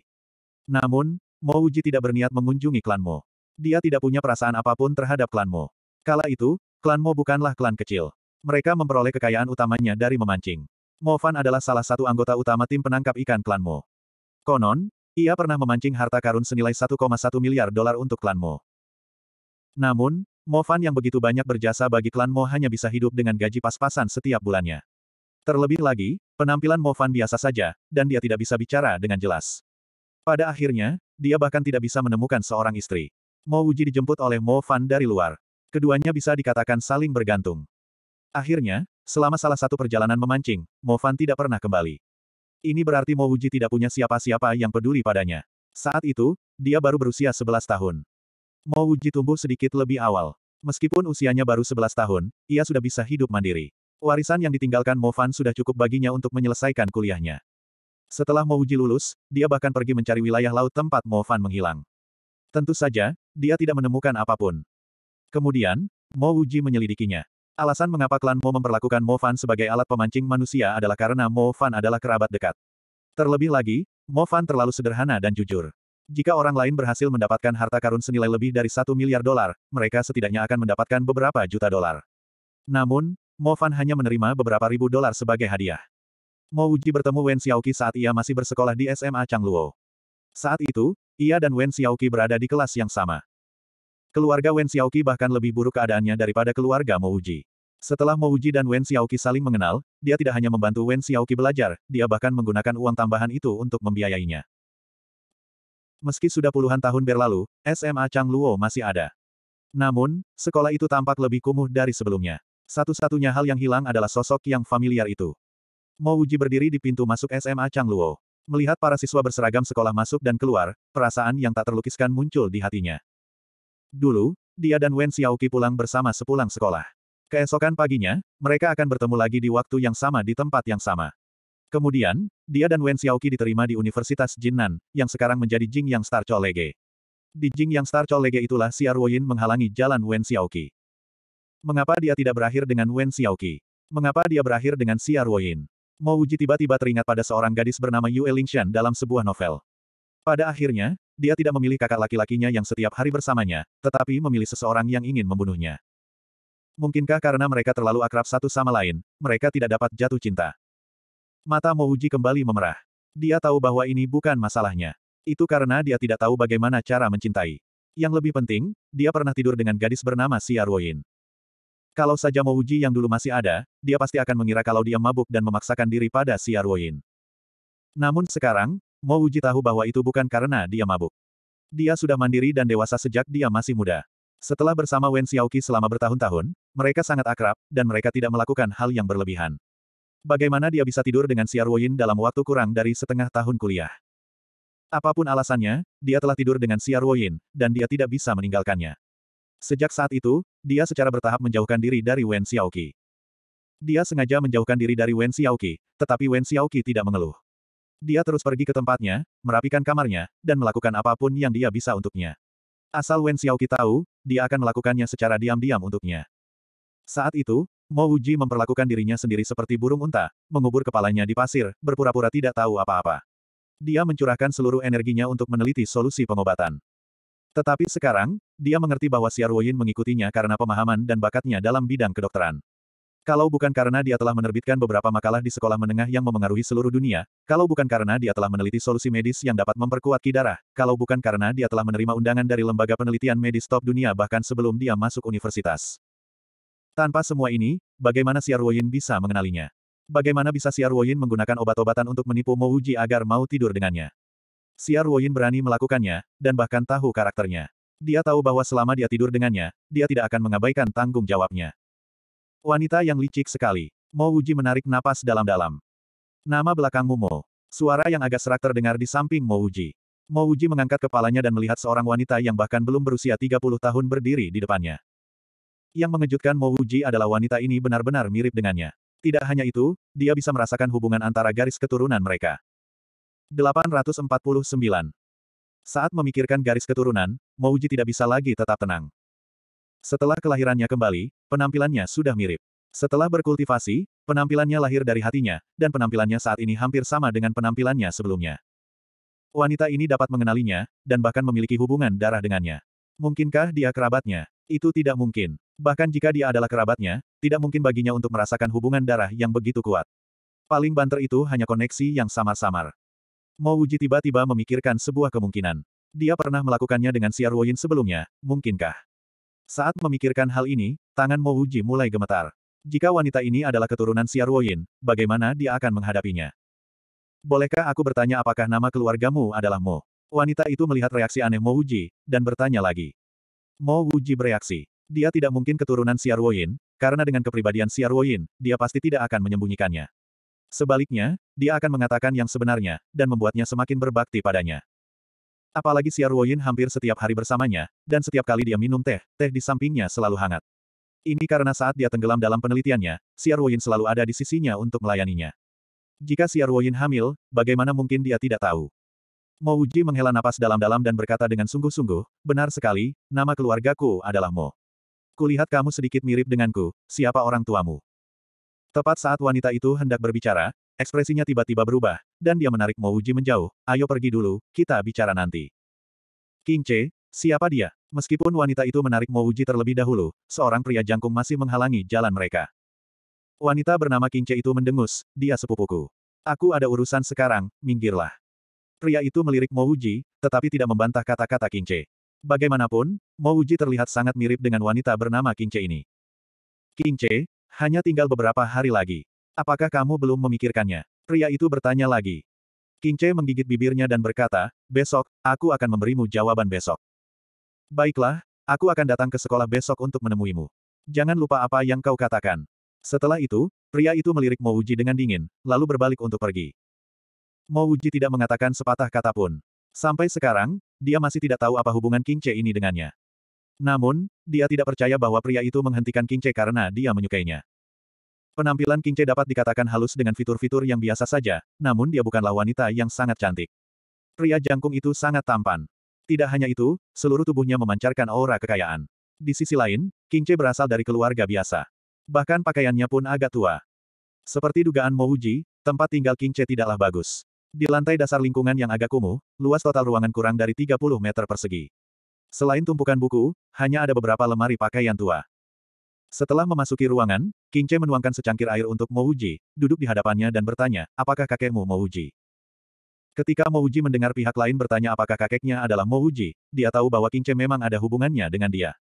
Itu pasti bukan cabang yang ditinggalkan oleh paman atau bibinya. Kalau tidak, dia tidak akan tahu nama Mo Wuji. Rasa kasihan membuncah di hati Mo Wuji. Satu-satunya wanita yang pernah menjalin hubungan dengannya adalah Xia Ruoyin. Karena pihak lain bertanya apakah kakeknya adalah Mo Wuji, maka King Che pastilah keturunan Xia Ruoyin. Ini berarti bahwa Xia Ruoyin benar-benar melahirkan di belakangnya. Dia tidak akan pernah memaafkan Xia Ruoyin, tapi anak itu tidak bersalah. Namaku Mo King Che, dan kakekku juga Mo Che menghela napas lega saat melihat belas kasihan di mata Mo Wuji. Mo Wuji berusaha sekuat tenaga menenangkan dirinya sebelum bertanya, siapa nama orang tuamu? Dan siapa nama nenekmu? Karena Mo Qingce mengatakan bahwa kakeknya adalah Mo Wuji, maka dia pastilah keturunannya. Begitulah perubahan kehidupan. Sekarang, dia tampak lebih muda dari Mo Qingce, tetapi dia adalah kakeknya. Mo Qingce menjawab dengan santai, ayahku adalah Mo Si, dan ibuku adalah Zuo Che Er. Lalu siapa nama nenekmu? Mo Wuji tahu bahwa nenek Mo Qingce bernama Xia Ruoyin, tetapi dia tetap tidak bisa menahan diri untuk bertanya. Nama nenekku adalah Wen Xiaoqi. Dasar. Meskipun Mo Wuji sudah menjadi kaisar abadi, tangannya masih gemetar, menyebabkan dia menjatuhkan secangkir air di atas meja. Tidak mungkin, jelas tidak mungkin. Nenekmu jelas bukan Wen Xiaoqi. Mo berdiri. Meskipun ada cinta di antara dirinya dan Wen Xiaoqi, dia tidak melewati batas. Mo Qingce tidak mempermasalahkan keresahan Mo dan berkata dengan tenang, aku harus memanggilmu sepupu. Sepertinya kakek sudah menceritakan semuanya kepadamu. Mungkin dalam hatimu, kau berpikir bahwa nenekku adalah wanita jalang bernama Xia Ruoyin. Mo Wuji menjadi tenang. Dia tahu bahwa segala sesuatunya tidak sesederhana itu, jadi dia tidak memberitahu Mo Qingce bahwa dia adalah Mo Wuji. Sebaliknya, dia duduk dan bertanya, Qingce, ceritakan detailnya kepadaku. Apa pun yang terjadi, aku akan membantumu. Mo Qingce menggelengkan kepalanya pelan. Mo Wuji terlihat sangat sedih, bahkan lebih buruk darinya, jadi bagaimana dia bisa menolongnya. Merupakan berkat nenek bahwa aku bisa bertemu denganmu hari ini. Aku memanggilmu ke sini karena ada sesuatu yang sangat penting yang ingin kusampaikan kepadamu, kata Mo Qingce perlahan. Pertama, katakan padaku mengapa nenekmu adalah Wen Xiaoqi. Kita bicarakan tentang menyerahkan barang itu padaku nanti.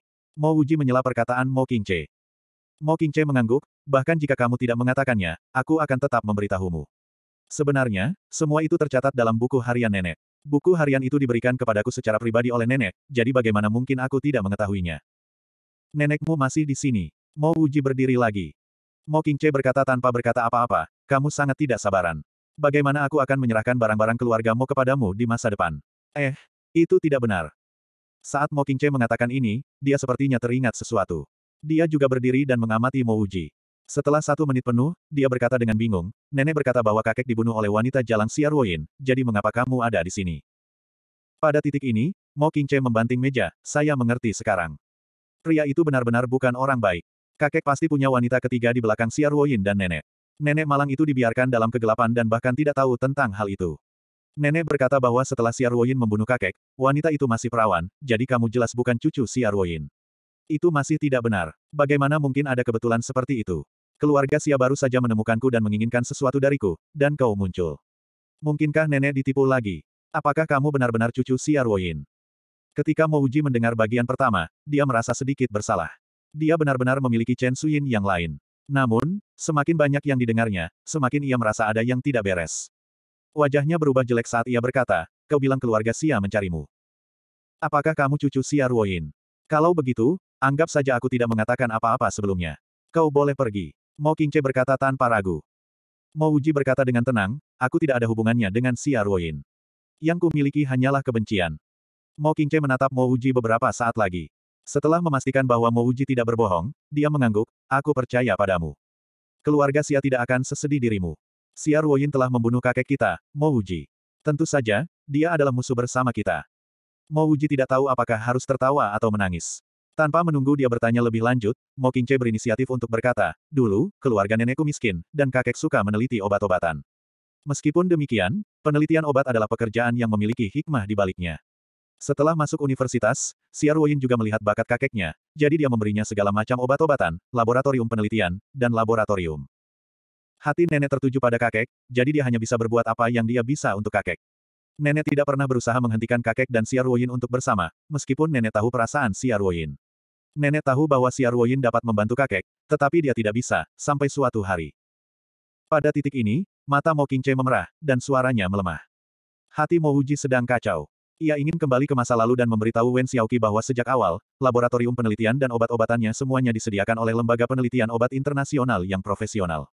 Hal ini dikarenakan ia telah memberikan hak paten beberapa obatnya kepada lembaga tersebut, dan sekaligus menandatangani beberapa kontrak dengan lembaga tersebut. Apa hubungannya ini dengan keluarga Xia Ruoyin? Paling-paling, keluarga Xia hanya seorang perantara. Setelah menenangkan dirinya, Mo Qingce melanjutkan, sampai suatu hari, seorang gadis dari Universitas Jinnan datang untuk mencari nenekku.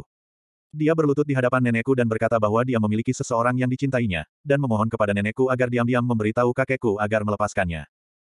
Apa maksudmu? Mo Wuji punya firasat buruk tentang ini. Mo Qingce berkata, gadis itu berkata bahwa Xia Ruoyin memintanya untuk menemani kakekku di Hotel Jingsang untuk satu malam. Mo Wuji akhirnya mengerti. Hari itu, dia mabuk karena Xia Ruoyin, dan dia bahkan menggunakan narkoba. Jelaslah bahwa Xia Ruoyin tidak berniat memberikan kesuciannya kepadanya.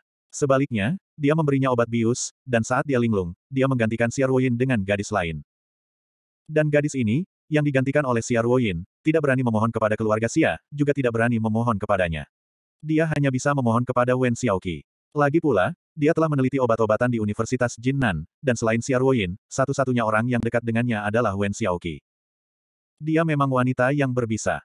Tidak heran Xia Ruoyin merahasiakannya sejak saat itu, mengatakan bahwa yang kedua kalinya akan terjadi pada malam pernikahan mereka. Jika Mouji tidak mengerti mengapa Xia Ruoyin ingin membunuhnya sebelumnya, sekarang dia benar-benar mengerti. Akan aneh jika seorang wanita seperti dia tidak ingin membunuhnya setelah dia menemukan obat itu. Nenekku baik hati, dan dia sangat menyukai kakekku, jadi dia bersembunyi di kamar.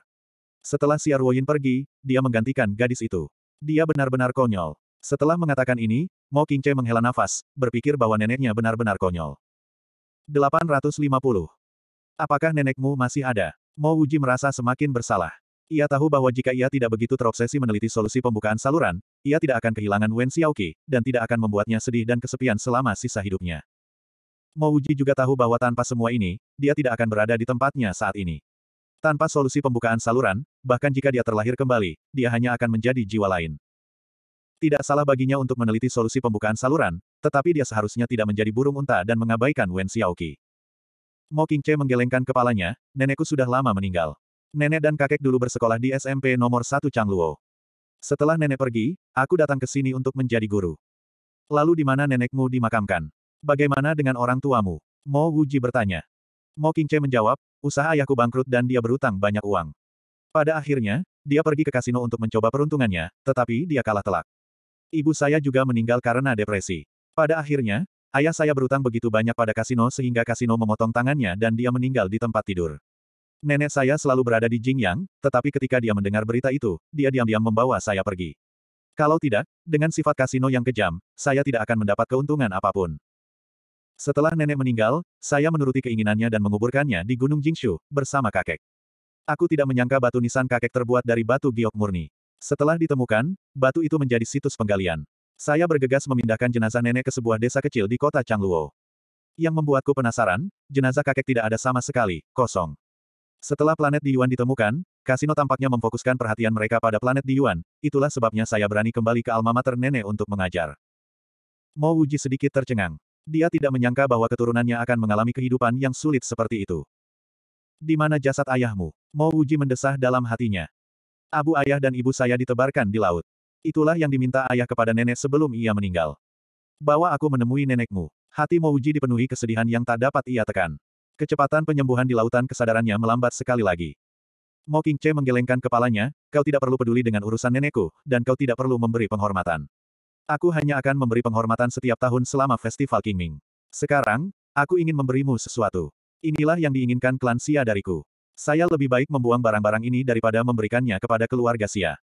Setelah Mo Qingce selesai berbicara, dia mengambil sekop dari sudut pintu, membuka pintu, mengambil keset, dan mulai menggali. Dia cepat-cepat mencongkel semen di pintu dan mengeluarkan sebuah kotak dari situ sebelum menyapu kembali semen itu. Mo Wuji juga sedikit terdiam. Mo Qingce ini benar-benar berusaha keras menyembunyikan benda itu di luar rumah. Mo Qingce membuka kotak itu dan mengeluarkan kantong plastik. Kantong plastik itu dibungkus beberapa lapis, dan saat dibuka, ada beberapa lembar kertas menguning di dalamnya. Kertas itu berisi berbagai barang. Selain itu, ada juga buku harian yang terlindungi dengan baik. Ini peninggalan nenek, dan buku harian ini juga milik nenek. Kamu adalah putra keluarga Mo, jadi aku serahkan ini padamu. Mo Qingce menyerahkan beberapa kertas menguning dan buku harian itu kepada Mo Wuji. Mo Wuji tidak membuka buku harian itu. Pandangannya tertuju pada beberapa halaman yang menguning, dan dia segera memahaminya.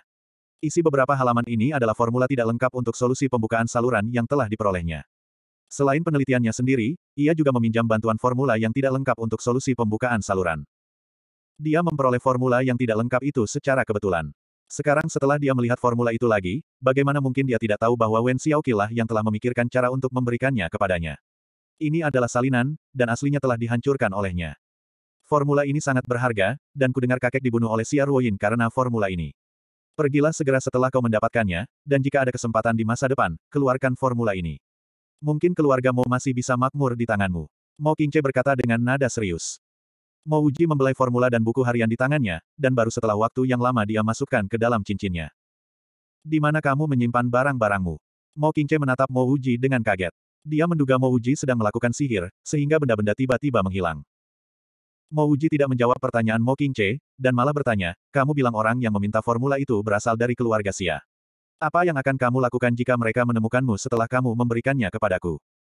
Mo Qingce menggelengkan kepalanya, aku tidak punya pilihan, aku hanya bisa segera pergi.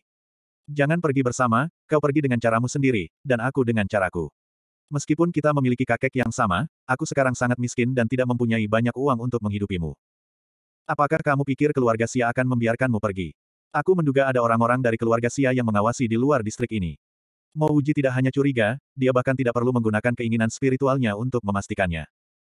Selain kematian, tidak ada yang belum pernah kulihat sebelumnya, Mo Qingce. Apa yang perlu ditakutkan? Jika kamu takut, kamu bisa pergi dulu, kata Mo Qingce dengan nada meremehkan. Kemasi barang-barang yang kau butuhkan, dan ikutlah denganku. Bawa aku ke tempat peristirahatan terakhir nenekmu. Mo Wuji mendesah. Mo Qingce tidak membantah lagi, dan berkata terus terang, baiklah, oh benar, aku masih belum tahu namamu. Aku tidak mungkin memanggilmu sepupu, kan? Mo Wuji menatap Mo Qingce dengan linglung, dan gambaran Wen Xiaoqi tampak muncul dalam benaknya. Kenangan mereka berdua di Changluo. Hei, aku bertanya padamu, kenapa kau menatapku? Mo Qingce sangat tidak puas dengan kurangnya tanggapan Mo Wuji. Namaku Mo Wuji. Mo Qingce mengangkat cangkirnya, dan hendak minum seteguk air. Setelah mendengar jawaban Mo Wuji, dia meludahkan air dari mulutnya sebelum dia sempat menelannya. Akan tetapi, airnya tidak memercik ke tubuh Mo Wuji, melainkan ke tanah. Kamu bilang namamu Mo Wuji, namamu sama dengan kakek, Mo Qingce tiba-tiba tidak berani berpikir lebih jauh. Betapapun tidak berbaktinya dia, dia tidak akan berani memiliki nama yang sama dengan kakeknya. Kecuali jika pihak lainnya adalah kakeknya, tetapi itu omong kosong belaka. Mo menganggukkan kepalanya dengan serius, aku memang Mo Wuji, dan seperti yang kau duga, aku bisa dianggap sebagai kakekmu. Kamu dari keluarga Xia, apakah kamu di sini untuk mencuri barang-barangku? Mo Qingce berteriak dengan kasar. Mo Wuji menghela napas, masalah ini agak tidak dapat dipercaya, tetapi itu benar-benar terjadi. Dengarkan aku. Di lereng Gunung Jingshu, empat pria berjubah hitam menghalangi jalan Tan Zenman. Tan Zenman datang ke sini untuk mencari Mo Wuji, namun dia tidak menyangka akan dihalangi oleh empat pria berjubah hitam. Apa yang sedang kamu lakukan? Setelah kepanikan awal, Tan Zenman menjadi tenang. Dia telah menerima ajaran dari ahli misterius itu, Mo Wuji, jadi bagaimana mungkin dia takut pada beberapa pria berjubah hitam biasa? Tidak banyak, hanya saja kau harus bekerja sama dengan kami dan menemui bos kami. Salah satu dari mereka terkekeh. Wajah Tan Zenman menjadi gelap, maaf, saya tidak punya waktu. Minggirlah. Itu bukan urusanmu. Keempat pria berjubah hitam itu menyerbu ke depan hampir bersamaan. Tan Zenman panik. Dia sudah lupa bahwa dengan teknik gerakannya, dia bisa dengan mudah melewati mereka berempat. Pada saat ini, dia tidak ragu untuk mengambil pisau pendeknya, dan cahaya pedang melesat keluar. Puff puff puff, empat garis darah berceceran. Sebelum keempat pria berjubah hitam itu bisa mendekati Tan Zenman, mereka terbunuh oleh cahaya pedang itu. Masing-masing dari mereka memiliki luka berdarah di leher mereka. Hal itu sangat akurat sehingga bahkan Tan Zenman sendiri tidak dapat mempercayainya. Tan Zenman mundur beberapa langkah karena takut. Dia menundukkan kepalanya dan menatap pisau pendek di tangannya. Ketika dia menyerang, dia benar-benar dapat merasakan dengan jelas letak leher lawannya, lalu dia langsung mengirisnya. Sangat kuat. Tan Zenman menekan rasa tidak nyaman di hatinya dan bergumam pada dirinya sendiri. Dia tidak bermaksud mengatakan bahwa dia kuat, tetapi Mo Wuji terlalu kuat. Dia hanya mengajarinya selama satu jam, dan mengizinkannya berlatih sendiri selama sebulan, tetapi dia sudah begitu kuat. Lalu, seberapa kuatkah Mo Wuji sendiri? Tan Zenman menatap keempat pria berjubah hitam yang dibunuhnya, lalu menatap gunung Jingshu yang kosong. Dia tahu bahwa dia benar-benar telah kehilangan kesempatan surgawi. Bertemu dengan ahli seperti Mo Wuji sekali saja sudah merupakan keberuntungan besar. Bagaimana mungkin dia bisa bertemu dengannya untuk kedua kalinya? Lagi pula, Tan Zenman tidak perlu menyelidiki keempat pria berjubah hitam ini untuk mengetahui bahwa mereka berasal dari klan Xia. Biasanya, dia tidak punya musuh. Satu-satunya saat dia menjadi pusat perhatian adalah selama ujian bintang tiga ini. Hanya klan Xia yang bisa mengetahui hasil ujiannya secepat itu, dan hanya klan Xia yang akan datang menangkapnya setelah mengetahui hasil ujiannya. Sekarang setelah dia membunuh klan Xia, dia tidak punya pilihan lain selain lulus ujian Federasi Navigasi Luar Angkasa dan menuju planet Diyuan. Saat memikirkan hal ini, Tan Zenman menyimpan pisau pendeknya dan memutuskan untuk kembali ke kota Kisu.